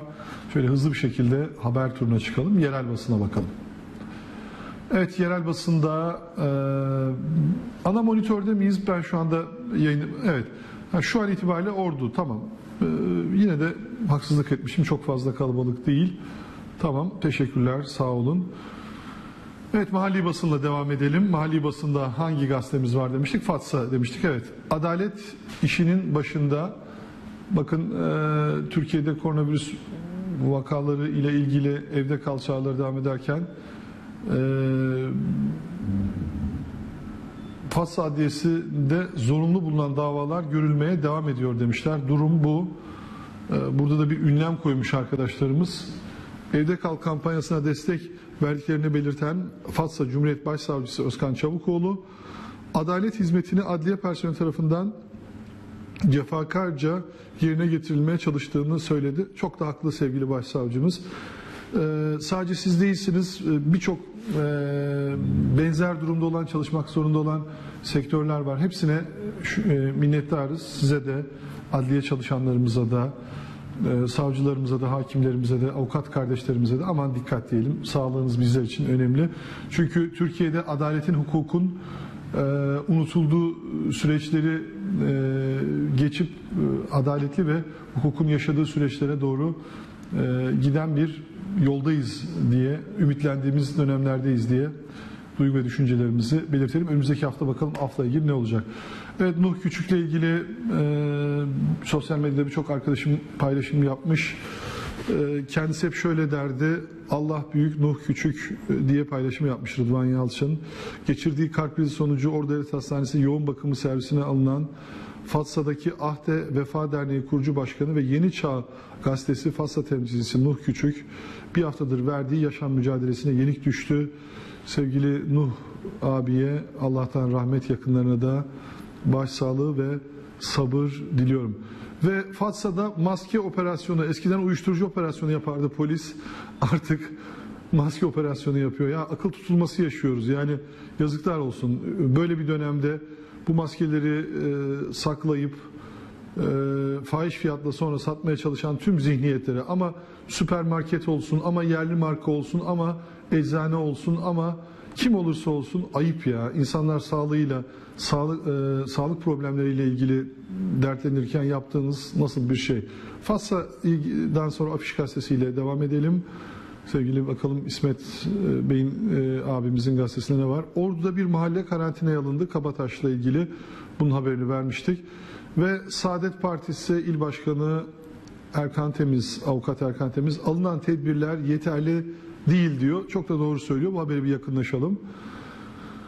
Evet, e, başkentimiz, ülkemiz ve dünyada büyük bir e, bela ile karşı karşıyadır. Bu bela karşısında 60-85 milyon memleket evladının tek yürek hareket etme zorunluluğu vardır. Ancak bu zorunluluk devlet, idareciler, devlet idarecilerinin yaptığı yanlışlarla evet e, dememizi, yapılan yanlışlar karşısında suskun kalmamızı gerektirmez. Yanlışa yanlış demek ve uyarmak, doğrusunu tavsiye etmek zorundayız demiş.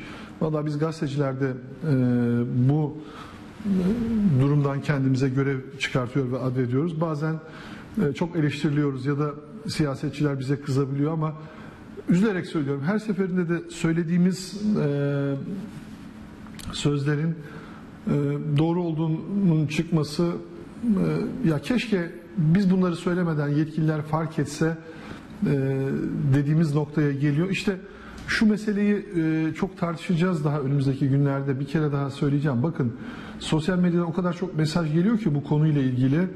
E, bu 3 aylık elektrik, su ve doğalgazla ilgili e, ortalama alınarak yapılacak olan uygulama e, ya başka ülkelerdeki e, bakın 3 ay süreyle elektrik, doğalgaz, suda da böyle faturalar için saya çokma yapılmayacak. Abonelere geçmiş tüketim ortalamalarına göre fatura gelecek. Belki su için bir nebze anlarım ama düşünsenize e, doğalgaz için aynı şeyi söyleyebilir misiniz? E, önümüzdeki 3 ayda şimdi Nisan ayını kastediyorlar. Mayıs ayını ve Haziran. E, Mayıs ve Haziran ayında ben zaten doğalgaz kullanmıyorum ki ya e, güneyde yaşayan insanlar, sıcak yerlerde yaşayan insanlar. O yüzden alınan birçok kararın yanlış olduğunu gördüğümüz gibi bunu söylemekte boynumuzun borcu diyelim. Devam edelim Afiş Gazetesi'yle. Evet, e, Afiş Gazetesi'nden bir haberimiz daha vardı sanırım. Evet, oda başkanlarından çağrı demişler. Ziraat Odası, Ticaret Odası ve borsa başkanları, esnaf odaları başkanları e, bakın bu zor süreçte e, mülk sahiplerinden kiralarında indirim ve ertelemeye gitmeleriyle ilgili çağrıda bulunmuşlar. Şimdi çok ilginçtir. Bazı böyle hastalıklı ruhlu insanlar duyuyorum. Yani şu anda bütün dünyada e, çok özel bir durum var. Ya eğer hala şunu düşünüyorsanız işte benim dört tane beş tane işte e, iş yerim var ya da işte ya oradaki kiralar ne olacak? O kiracılar bu paraları verebilecek mi? İşte ben ne yapacağım? Ekonomik kaygıya e, uğradım. Nasıl bu paraları alacağım endişesindeyseniz bir kere daha bir e, kendi öz iç benliğinizle ilgili bir sorgulamaya gitmeniz gerekiyor. Bakın e, evet panik yok, tedbir alacağız. E, Türkiye'de de şöyle bir tablo yok. Kanada'daki gibi ya da Almanya'daki gibi bir tablo yok ya da Amerika'daki gibi bir tablo yok. Biz şu anda dar kıt ekonomik tablolarla nasıl yaşayalım, nasıl nefes alalım derdindeyken e, diğer taraftan da mülk sahiplerinin de e, hassas olmaları noktasında işte oda başkanlarının çağrısına ben de buradan e, bir kere daha seslenmek istiyorum diyelim. Bizde e, mülklerimiz var, kiracılarımız var ama biz de aynı hassasiyeti mutlaka göstermek durumundayız diyelim. Bu da bilinsin diyelim ve devam edelim mahalli basına. Evet, evinizde oturun daha diye başlık atmışlar. Ee, görüyorsunuz tüm uyarılara rağmen e, Hayat Gazetesi'nin verdiği haber kendi ve başkalarının sağlığını hiçe sayanlar yüzünden valilik sokağa çıkanların sayısını azaltmak için önlemlerini artırdı. Bazı caddeler, girişler bariyerlerle kapatıldı. Az bile. Gerçekten az. Evet orduya yakışmıyor. Son çare. E, vallahi hiç katılmıyorum orduya yakışmadığını. E, sevgili meslektaşlarımız haklı olarak böyle bir serzenişte bulunuyorlar. Hani ben ileri olsun diye yakışmıyor diyorum. E, biz kendi adımıza bu refleksi gösteremiyorsak e, biz bu görüntüyü hak ediyoruz. O yüzden e, son çarenin de bir tık e, üzerine de gitmek gerekiyor. Üst kısımlarda birkaç tane haber vardı. E, Haluk Murat Poyraz bakın Bağış değil yasak kanun dışı demiş. Ordu Barosu Başkanı Avukat Haluk Murat Poyraz, muhalefet belediyelerinin bağış kampanyalarının yasaklanması kararının hukuka aykırı olduğunu söyledi. Ordu Baro Başkanı bunu söylüyor. Son günlerdeki bu e, tartışmaya farklı bir bakış açısı getiriyor. Evet, e, bu aralar sadece ve sadece insan sağlığını ve bu virüsle karşı bu virüse karşı nasıl mücadele etmemiz gerektiğini konuşmamız gereken zamanlardan geçerken şu anda e, iktidarın aldığı e, CHP'li belediyelerin yasak yardım toplama kampanyası ile ilgili yasak kararını konuşuyoruz. E, bu şu anda hepimizin vicdanlarını huzursuz eden, sağcısı, solcusu, Kürdü, Türkü, Çerkezi, Lazı, Abazası, AK Partilisi, CHP'lisi, MHP'lisi, İyi Partilisi şu anda düşünmemiz gereken tek şeyin sağlık ve bu virüsle nasıl mücadele etmemiz gerektiğini çok iyi biliyoruz. Ee, Artık bu devleti yönetenlerin de, muhalefettekilerin de, iktidardakilerin de bu siyasi polemiklerden ülkemize en azından 3 ay 3 ay bizi rahat bırakın. Ne olur 3 ay gündemimiz sadece virüs olsun ya. Yani şu kafalarınızdaki e, sen ben biz siz e, kavramından vatandaşı e, uzaklaştırın. Vatandaş şu anda e, işimi e, devam ettirebilecek miyim? Artık bir işim var mı yok mu onu bilmiyorum tartışmasındayken hala hangi kısır tartışmaları bizlere e, yaşatıyorsunuz tepkisini gösteriyorlar size. Bunu çok iyi biliniz. E, muhalefet için de söylüyorum, iktidar için de söylüyorum. E, artık bizi şu polemiklerle yormayın. Düşünmemiz gereken siz ve sizin kişisel e, kavgalarınız, kaprisleriniz ya da e, aldığınız kararlar, kurallar değil arkadaşlar. E, gerçekten sıkıldık, sıkıldık. Devam edelim. Hayat Gazetesi'nde Mustafa Güzel'in bir açıklaması vardı. Yanında da e, Özgür Engin Yurt'un bir açıklaması var. Hastaneleri gereksiz yere doldurmayın. Bu aralar herkeste bir paranoya, herkeste bir acaba bende bir vaka var mı, e, öksürüğüm var, ateşim var, nezlem var, acaba hasta mıyım sorusu var. Toplum olarak psikolojimiz bozuldu. O yüzden önce evinizde oturun, sonra hastaneleri gereksiz yere doldurmayın. Sonra da hijyen kurallarına uyun. İşte olanlar e, biz ne yapalım diyorlar. Onu da devleti yönetenler e, hala alamadıkları kararlarla düşünsünler.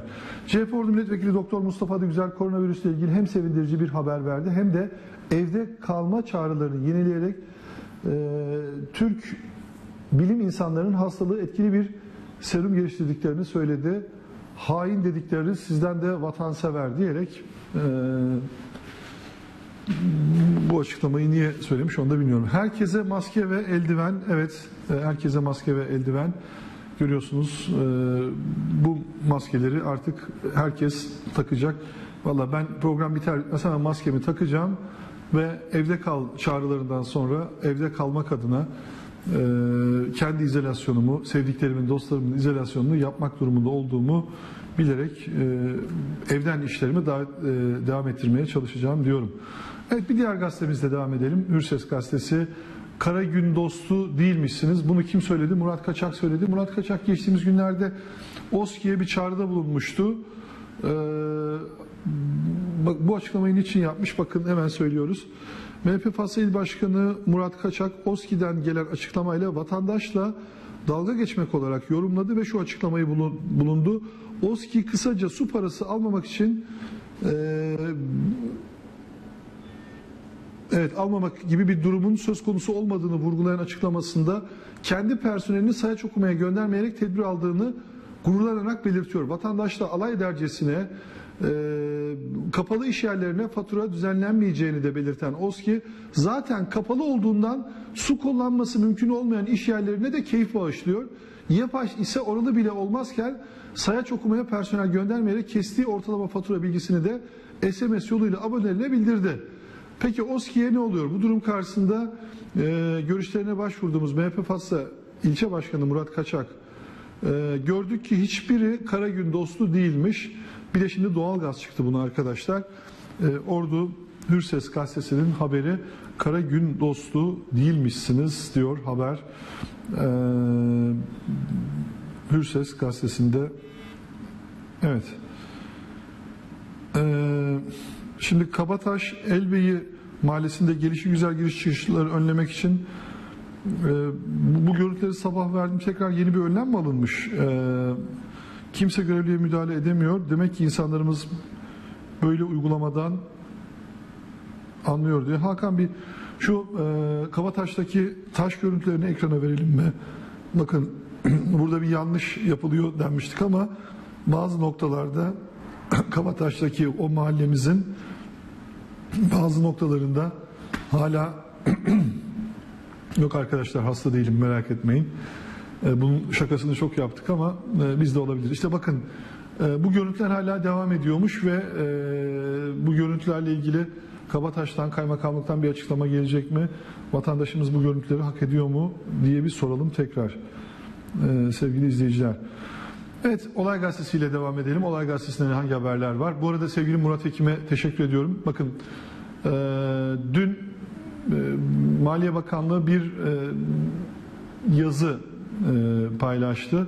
Ordu'daki e, bir takım eczanelere ceza kesildiği yönünde bir e, bilgi e, paylaşımı yaptı ve ifşa edildi diyerek yapıldı.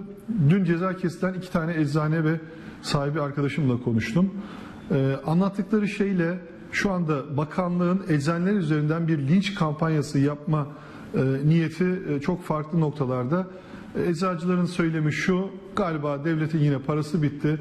Tıpkı trafikte polisin e, önüne gelen e, en ufak e, kusurda vatandaşa ceza yazıyor olmasından dolayı vatandaş da şimdi bize e, neredeyse kurban seçilerek 3-4 e, firmaya e, ceza kesmesini anlamlandıramıyoruz ki o uygulamayı da nasıl ceza kesildiğini de e, anlattıklarında da valla bu kadarına da pes doğrusu dedim.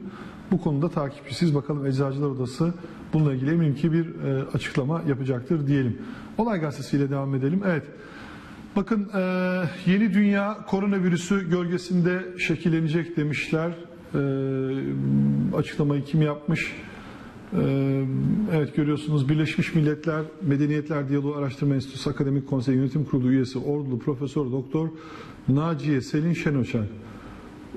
Yani olay gazetesi yani bir kere daha okuyayım haberi. Birleşmiş Milletler Medeniyetler Diyaloğu Araştırma Enstitüsü Akademik Konseyi Yönetim Kurulu üyesi Ordulu Profesör Doktor Naciye Selin Şen Ocak, dünya düzeni küresel yönetim e, ve dünyayı değiştiren koronavirüs gölgesine şekillenecek dedi haberini bu kadar e, uzattığınız vakit sevgilerimi gönderiyorum. Sevgili Yasin Rüştübaş, Mustafa Kırlak ve Zeki Özel Beylere. Gurbetten koronavirüsü getirdiler. Maalesef orada bir mahalle karantina altına alındı diyor ve çay başında içme suyu deposuna yanık yağ karıştırdılar. OSKİ Genel Müdürlüğü'nün Çaybaşı ilçesi Köklük Mahallesi'nde bulunan içme suyu deposuna kimliği belirsiz kişi ve kişilerce yanık yağ olduğu düşünülen madde döküldüğü ileri sürüldü. Bu çok çirkin bir iddia. Niye yapılıyor, neden yapılıyor? Bunu da e, önümüzdeki günlerde tartışacağız. İl dışından gelenler risk oluşturuyor. Evet Ordu Valisi Seddar Yavuz il dışından gelen vatandaşların büyük bir risk oluşturduğuna dikkat çekerek il sınırlarımızda oluşturmuş olduğumuz kontrol noktalarında güvenlik birimlerimiz ve sağlık personeli va- vasıtasıyla etkin denetimler sürüyor diyor ve Covid-19'dan kaçanlar yaylaya çıkıyorlarmış. Evet Kabadüz Belediye Başkanı Yener Kaya şu an yaylalara çıkmak için ilçe, ilçemize ciddi bir şekilde giriş var. Bu nedenle tedbirlerimizi en üst düzeye çıkardık diyor. Yaylalara çıkabilmek için aşırı derecede talep geliyor. Salgın nedeniyle yaylalara ilgi azalmadı tam tersine arttı diyorlar. Evet e, Esnaf Odası, Ticaret Odası ve Ziraat e, Mali Müşavirler Odası bakın 3 ay kira bedeli alınmamalı diye mülk sahiplerine bir çağrıda yapmış e, yapmışlar. Haber burada. Evet devam edelim. Bir başka gazetemize geçelim. Ee, hangi gazetemiz var sırada? Giriş çıkışlar kapatıldı. Giriş çıkışlar kapatıldı. Denetimler sıklaştı. Tribün Gazetesi'nin verdiği bir haber. Ee, yine ordu ile ilgili bir haber. Sevgili izleyiciler şöyle yapalım isterseniz. Şimdi e, kalan haberlerimizin süresi ne kadar sevgili Sefat?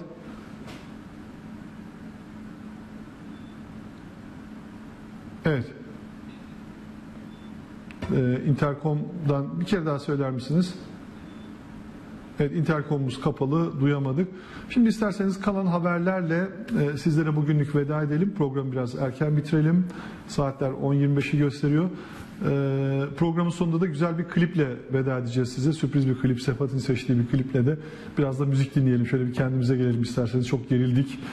E, hep böyle gergin haberleri sizlere sunduk ama ee, bu süreci hep birlikte birbirimize güvenerek, destekleyerek, inanarak, hoşgörü içerisinde, sevgi ve saygı kuralları içerisinde önlemlerimizi alarak e, ve birbirimize inanarak, kenetlenerek e, aşacağız diyelim. E, hafta sonu biliyorsunuz yeni gün programı 09 ile 11 saatler arasında sevgili Ümit Atabay sizlerle birlikte oluyor. Ben pazartesi sabahı saat 8'e kadar kendim için, dostlarım için, sizler için, burada çalışan arkadaşlarım için kendi izolasyonumu sağlamak adına e, kendimi eve kapatmaya gidiyorum arkadaşlar. Üç gün boyunca dışarı çıkmayacağım. Pazartesi sabahı saat 8'de hepinizi burada görmek istiyorum. Ama TV52 izlemeye devam edin. Akşam saat 18.30'da İsa Akçay'la ana haber bülteni. Hafta sonu Ümit Atabay'la e, Köşe Bucak programı ve Yeni Gün programı, Melek'ten Esen Rüzgar programı ve birçok program farklı sıra dışı programlar yine TV52'de olacak. TV52 izlemeye devam edin. Her program sonrasında olduğumuz gibi bu bir veda olsun. Haberinizden ve hayatınızdan hep güzel sağlıklı haberlerimiz olsun diyoruz. E, bizi izlediğiniz için size çok teşekkür ediyoruz. Ordu Ticaret ve Sanayi Odası Başkanı Servet Şahin, Ordu Esnaf ve Sanatkarlar Birliği Başkanı Erdoğan Akgürek ile Ordu Serbest Muhasebeci Mali Müşavirler Odası Başkanı Bahadır Baş, içinden geçilen zor sürecin kaçınılmaz olumsuzluklarına sebebiyet verdiğine dikkat çekerek, kamudan ve mülk sahiplerinden kiralarda indirim ve ertelemeye gitmeleri için çağrıda bulundular. Ordu Ticaret ve Sanayi Odası Başkanı Servet Şahin, iş yerlerini açmayan esnafların mağdur olduğunu söyledi ve iş yerlerinin açılacağı tarihe kadar kiraların dondurulması gerektiğini söyledi. malum hastalıkla ilgili bazı toplantısı yapmıştık. Ee, oradaki sivil toplum kuruluşları ve oda borsa baş, başkanlarıyla beraber orada açıklamıştık. Şimdi bu sene e, iş yerini açmayan e, şeylerimiz var, tüccarlarımız, esnaflarımız var. Yani şu anda kapalı olan. Bir mağduriyet var.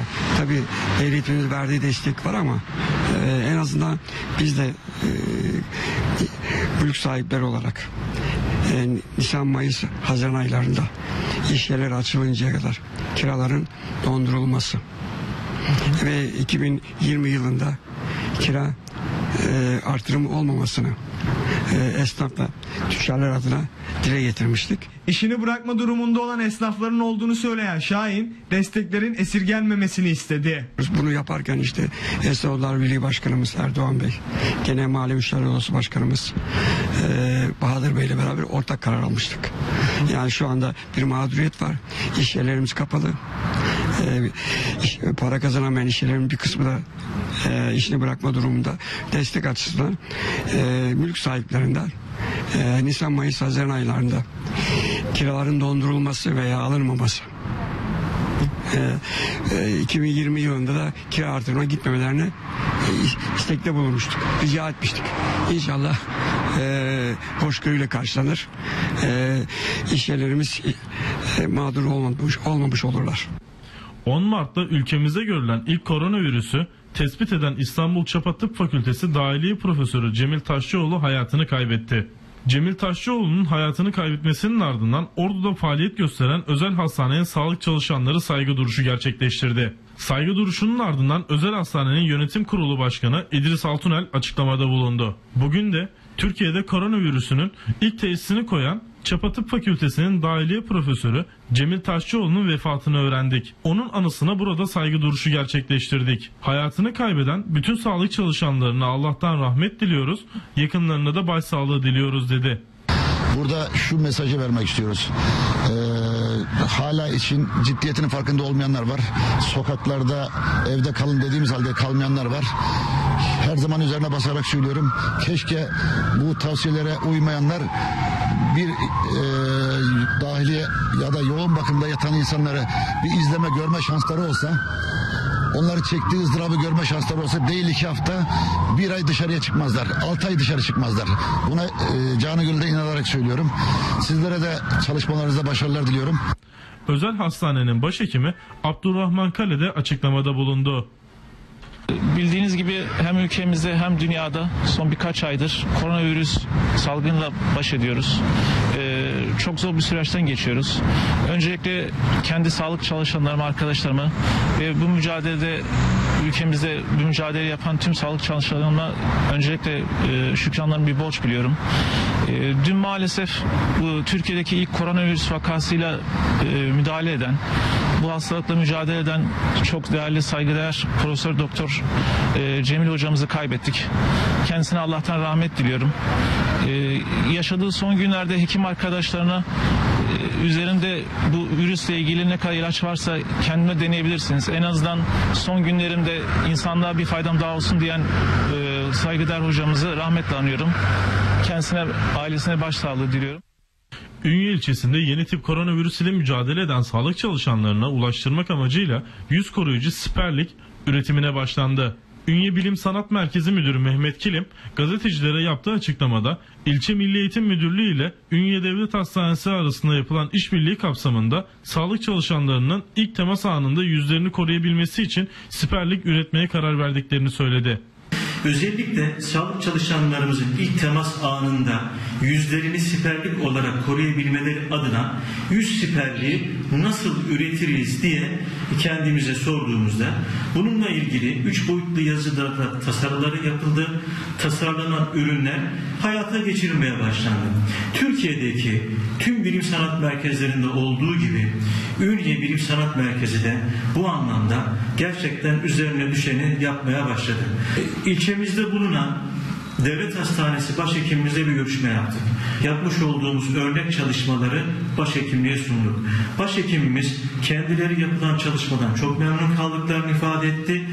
Temin ettiğimiz malzemeler doğrultusunda da yüz siperlikleri üretimine başladık. Ki asetat Ünye'de bulunan bir malzeme değil sipariş veriyoruz. Siparişlerimizin ulaşma noktasında sıkıntılar yaşıyoruz. Perçin bile bulmakta gerçekten zorluk çekiyoruz. İnşallah önümüzdeki hafta sonuna kadar 250 adet maske siperlik üretimini e, devlet hastanesi başhekimliğine teslim etmiş olacağız. 3 boyutlu yazıcıda tasarımlarının yapıldığını, tasarlanan ürünlerin ise hayata geçirmeye başlandığını anlatan Kilim, Türkiye'deki tüm bilim sanat merkezlerinde olduğu gibi Ünye Bilsem'in de bu anlamda üzerine düşeni yaptığını vurguladı. İlk üretilen siperlikleri Ünye Devlet Hastanesi Başhekimi Tamer Kutlu'ya teslim ettiklerini belirten Kilim, 10 günlük süreçte 250-100 koruyucu siperlik yaparak teslim etmeyi planladıklarını kaydetti. Koronavirüs salgınına karşı alınan önlemlere bir yenisi daha ekleniyor. Enerji Piyasası Düzenleme Kurumu koronavirüs salgınına yönelik önlemler kapsamında elektrik ve doğalgaz faturalarıyla ilgili yeni bir çalışma yapıyor. Bu çalışma şehir içi dağıtım şirketleri bünyesinde çalışan sayaç okuyacak personeli de koruyacak. Yüzlerce görevli personelin abonelerle teması tümüyle kesilecek. Doğalgaz ve elektrik şehir içi dağıtım şirketi personeli aylık düzenli fatura okumayacak. Bunun yerine son 2 yıllık ortalama tüketim değerleri alınacak. Anılan ay için geçmiş dönemde bir tüketim yoksa emsal tüketimler dikkate alınarak fatura çıkartılacak. Söz konusu olan 100 metrekare bir dairenin tüketimi ve faturası ise aynı özellikteki diğer tüketim miktarları göz önünde bulundurulacak. Salgın önlemlerinin kaldırılmasının ardından gerçek tüketimler ölçülecek. Abonenin gerçek tüketimi faturalanan tutarın altındaysa iade işlemi söz konusu olacak. Tersi durumda ek ödeme talebinde bulunulacak. Sektör kaynakları Enerji Piyasası Düzenleme Kurumu'nun bu konuda bir karar almasının beklendiğini belirterek bu kararla birlikte uygulama başlayacak. Hızla uygulamaya geçilecek dedi. Enerji yönetimi fatura desteğiyle ilgili olarak da çalışmalarını sürdürüyor. Gaz ve elektrik dağıtım şirketleriyle görüşmeler yapılıyor. Fatura tahsilat oranları anlık olarak izleniyor. Tahsilatta gündeme gelebilecek bir sorun bu alana destek amaçlı hamleyi de tetikleyecek. özel bankalardan kaliteli bir adım gelmediğini, bu bankaların elini taşın altına koyması gerektiğini vurgulamıştır. Bu açıklamamdan sonraki birkaç gün içinde özel bankalardan bazı sözlü olanaklar duyurdular. Sözde diyorum. Çünkü ne, ne yazık ki yaptıkları duyular normal zamanlardan dönem dönem uyguladıkları geçici kampanyalardan çok da farklı değil. Bu sözlerle özel bankalara sitem etti. Fatsa Ticaret ve Sanayi Odası Başkanı Tayfun Karataş. Koronavirüs salgını ekonomik anlamda üyeleri zor durumda bıraktığını da sözlerine ekledi. Yaşanan süreçte özel bankalarımızdan hala bir şey dokunur bir girişim gelmediği gibi mevcut durumda da işlerinin yaşadıkları sıkıntılar nedeniyle aktif borçlarında erteleme, öteleme, talep eden üyelerimizden özel bankamızdan kapılarından örteleme ve öteleme için sunulan yüksek faiz onlarıyla eli boş gelmekte olduklarına dair çok ciddi gerilimler almaktayız. Başkan Karataş özel bankaların bu zor süreçte yüksek faizlerle bir bakıma fırsatçılık yaptığını kaydetti. Bankaların bu dönemde mevcut borçlar için uyguladıkları yaklaşımda sundukları faiz oranları normal zamanki değerden daha yüksek.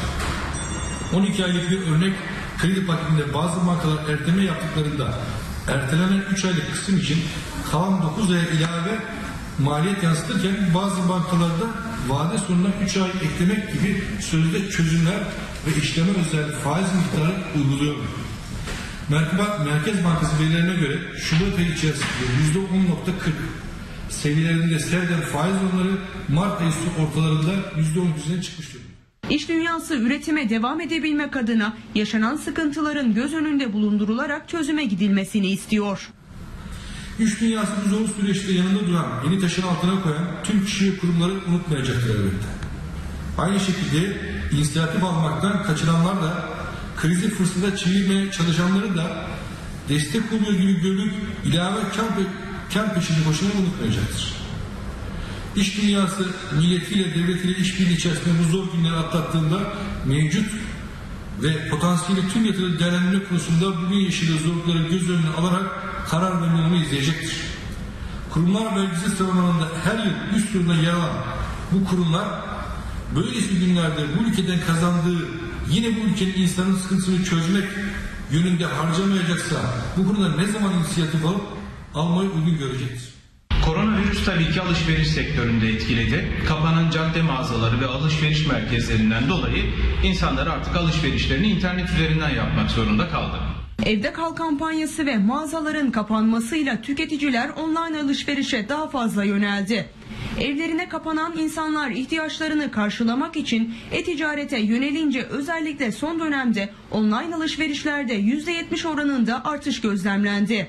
Bu kapsamda tüketicilerin daha çok hijyene yönelik malzemeler, kuru gıda, temizlik malzemeleri, kişisel bakım ürünlerine yönelik alışverişleri de arttı.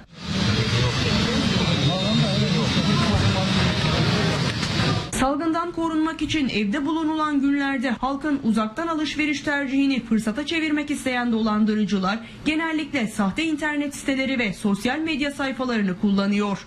Buna karşılık vatandaşların ürün almadan önce fiyat karşılaştırma sitelerini incelemesi, adres çubuğunda yer alan güvenli giriş katmanı sertifikasındaki yeşil bara dikkat etmesi ve kredi kartı ödemelerinde 3D Secure yöntemini kullanan firmaları tercih etmesi önem kazanıyor. Bazı mağduriyetler yaşamamak için öncelikle güvendiğimiz, bildiğimiz ve daha önce alışveriş yaptığımız internet sitelerinden alışveriş yapmamız doğrudur. Web sayfasının tarayıcınızda adres kısmının solunda güvenli bağlantısını yeşil renkte görmeniz tavsiye edilir. Ayrıca bir sanal kart oluşturabilir, daha düşük limitli, alışveriş riskinizi aza indirebilirsiniz. Sosyal medya uzmanı Cesur Elmalı ürün fiyatlarında artış yaşanması halinde acil değilse ürünü almayı erteleyin önerisinde bulundu. Bir başka husussa almayı düşündüğünüz ürün daha önce 100 lira gibi bir rakamsa örnek olarak ve şu an 300 liradan daha fazlaya satılıyorsa acil değilse ertelemenizi tavsiye ederiz. 2 Nisan Dünya Otizm Günü kapsamında Altınordu Züverkaya Mesleki ve Teknik Anadolu Lisesi Özel Eğitim Sınıfı Öğretmeni Sevil Şentürk farkındalık amaçlı bir video hazırladı. Otizm, iletişim ve sosyal etkileşim sorunlarıyla kendini gösteren bir gelişim bozukluğudur. Doğuştan gelir. Alan ve branş öğretmenleri, sorumlu müdür yardımcıları, okul müdürü ve öğrencilerin bulunduğu videoda otizm hakkında bilgiler verildi. Otizmin farkındayız, onların yanındayız. Çocuğunuz başkalarıyla göz teması kurmuyorsa, Adını söylediğimizde bakmıyorsa, söyleneni işitmiyor. Hazırlamış oldukları bu farkındalık videosu ile otizmin farkındayız, onların yanındayız dediler. Otizmli bireylerin okulda öğretmenlere, parkta arkadaşlara, sokakta sizlere yani hepimize ihtiyacı vardır. Otizm eksiklik değil farklılıktır. 2 Nisan Dünya Otizm Farkındalık Günü, Nisan ayı Otizm Farkındalık Ayı. Otizm farkındayız.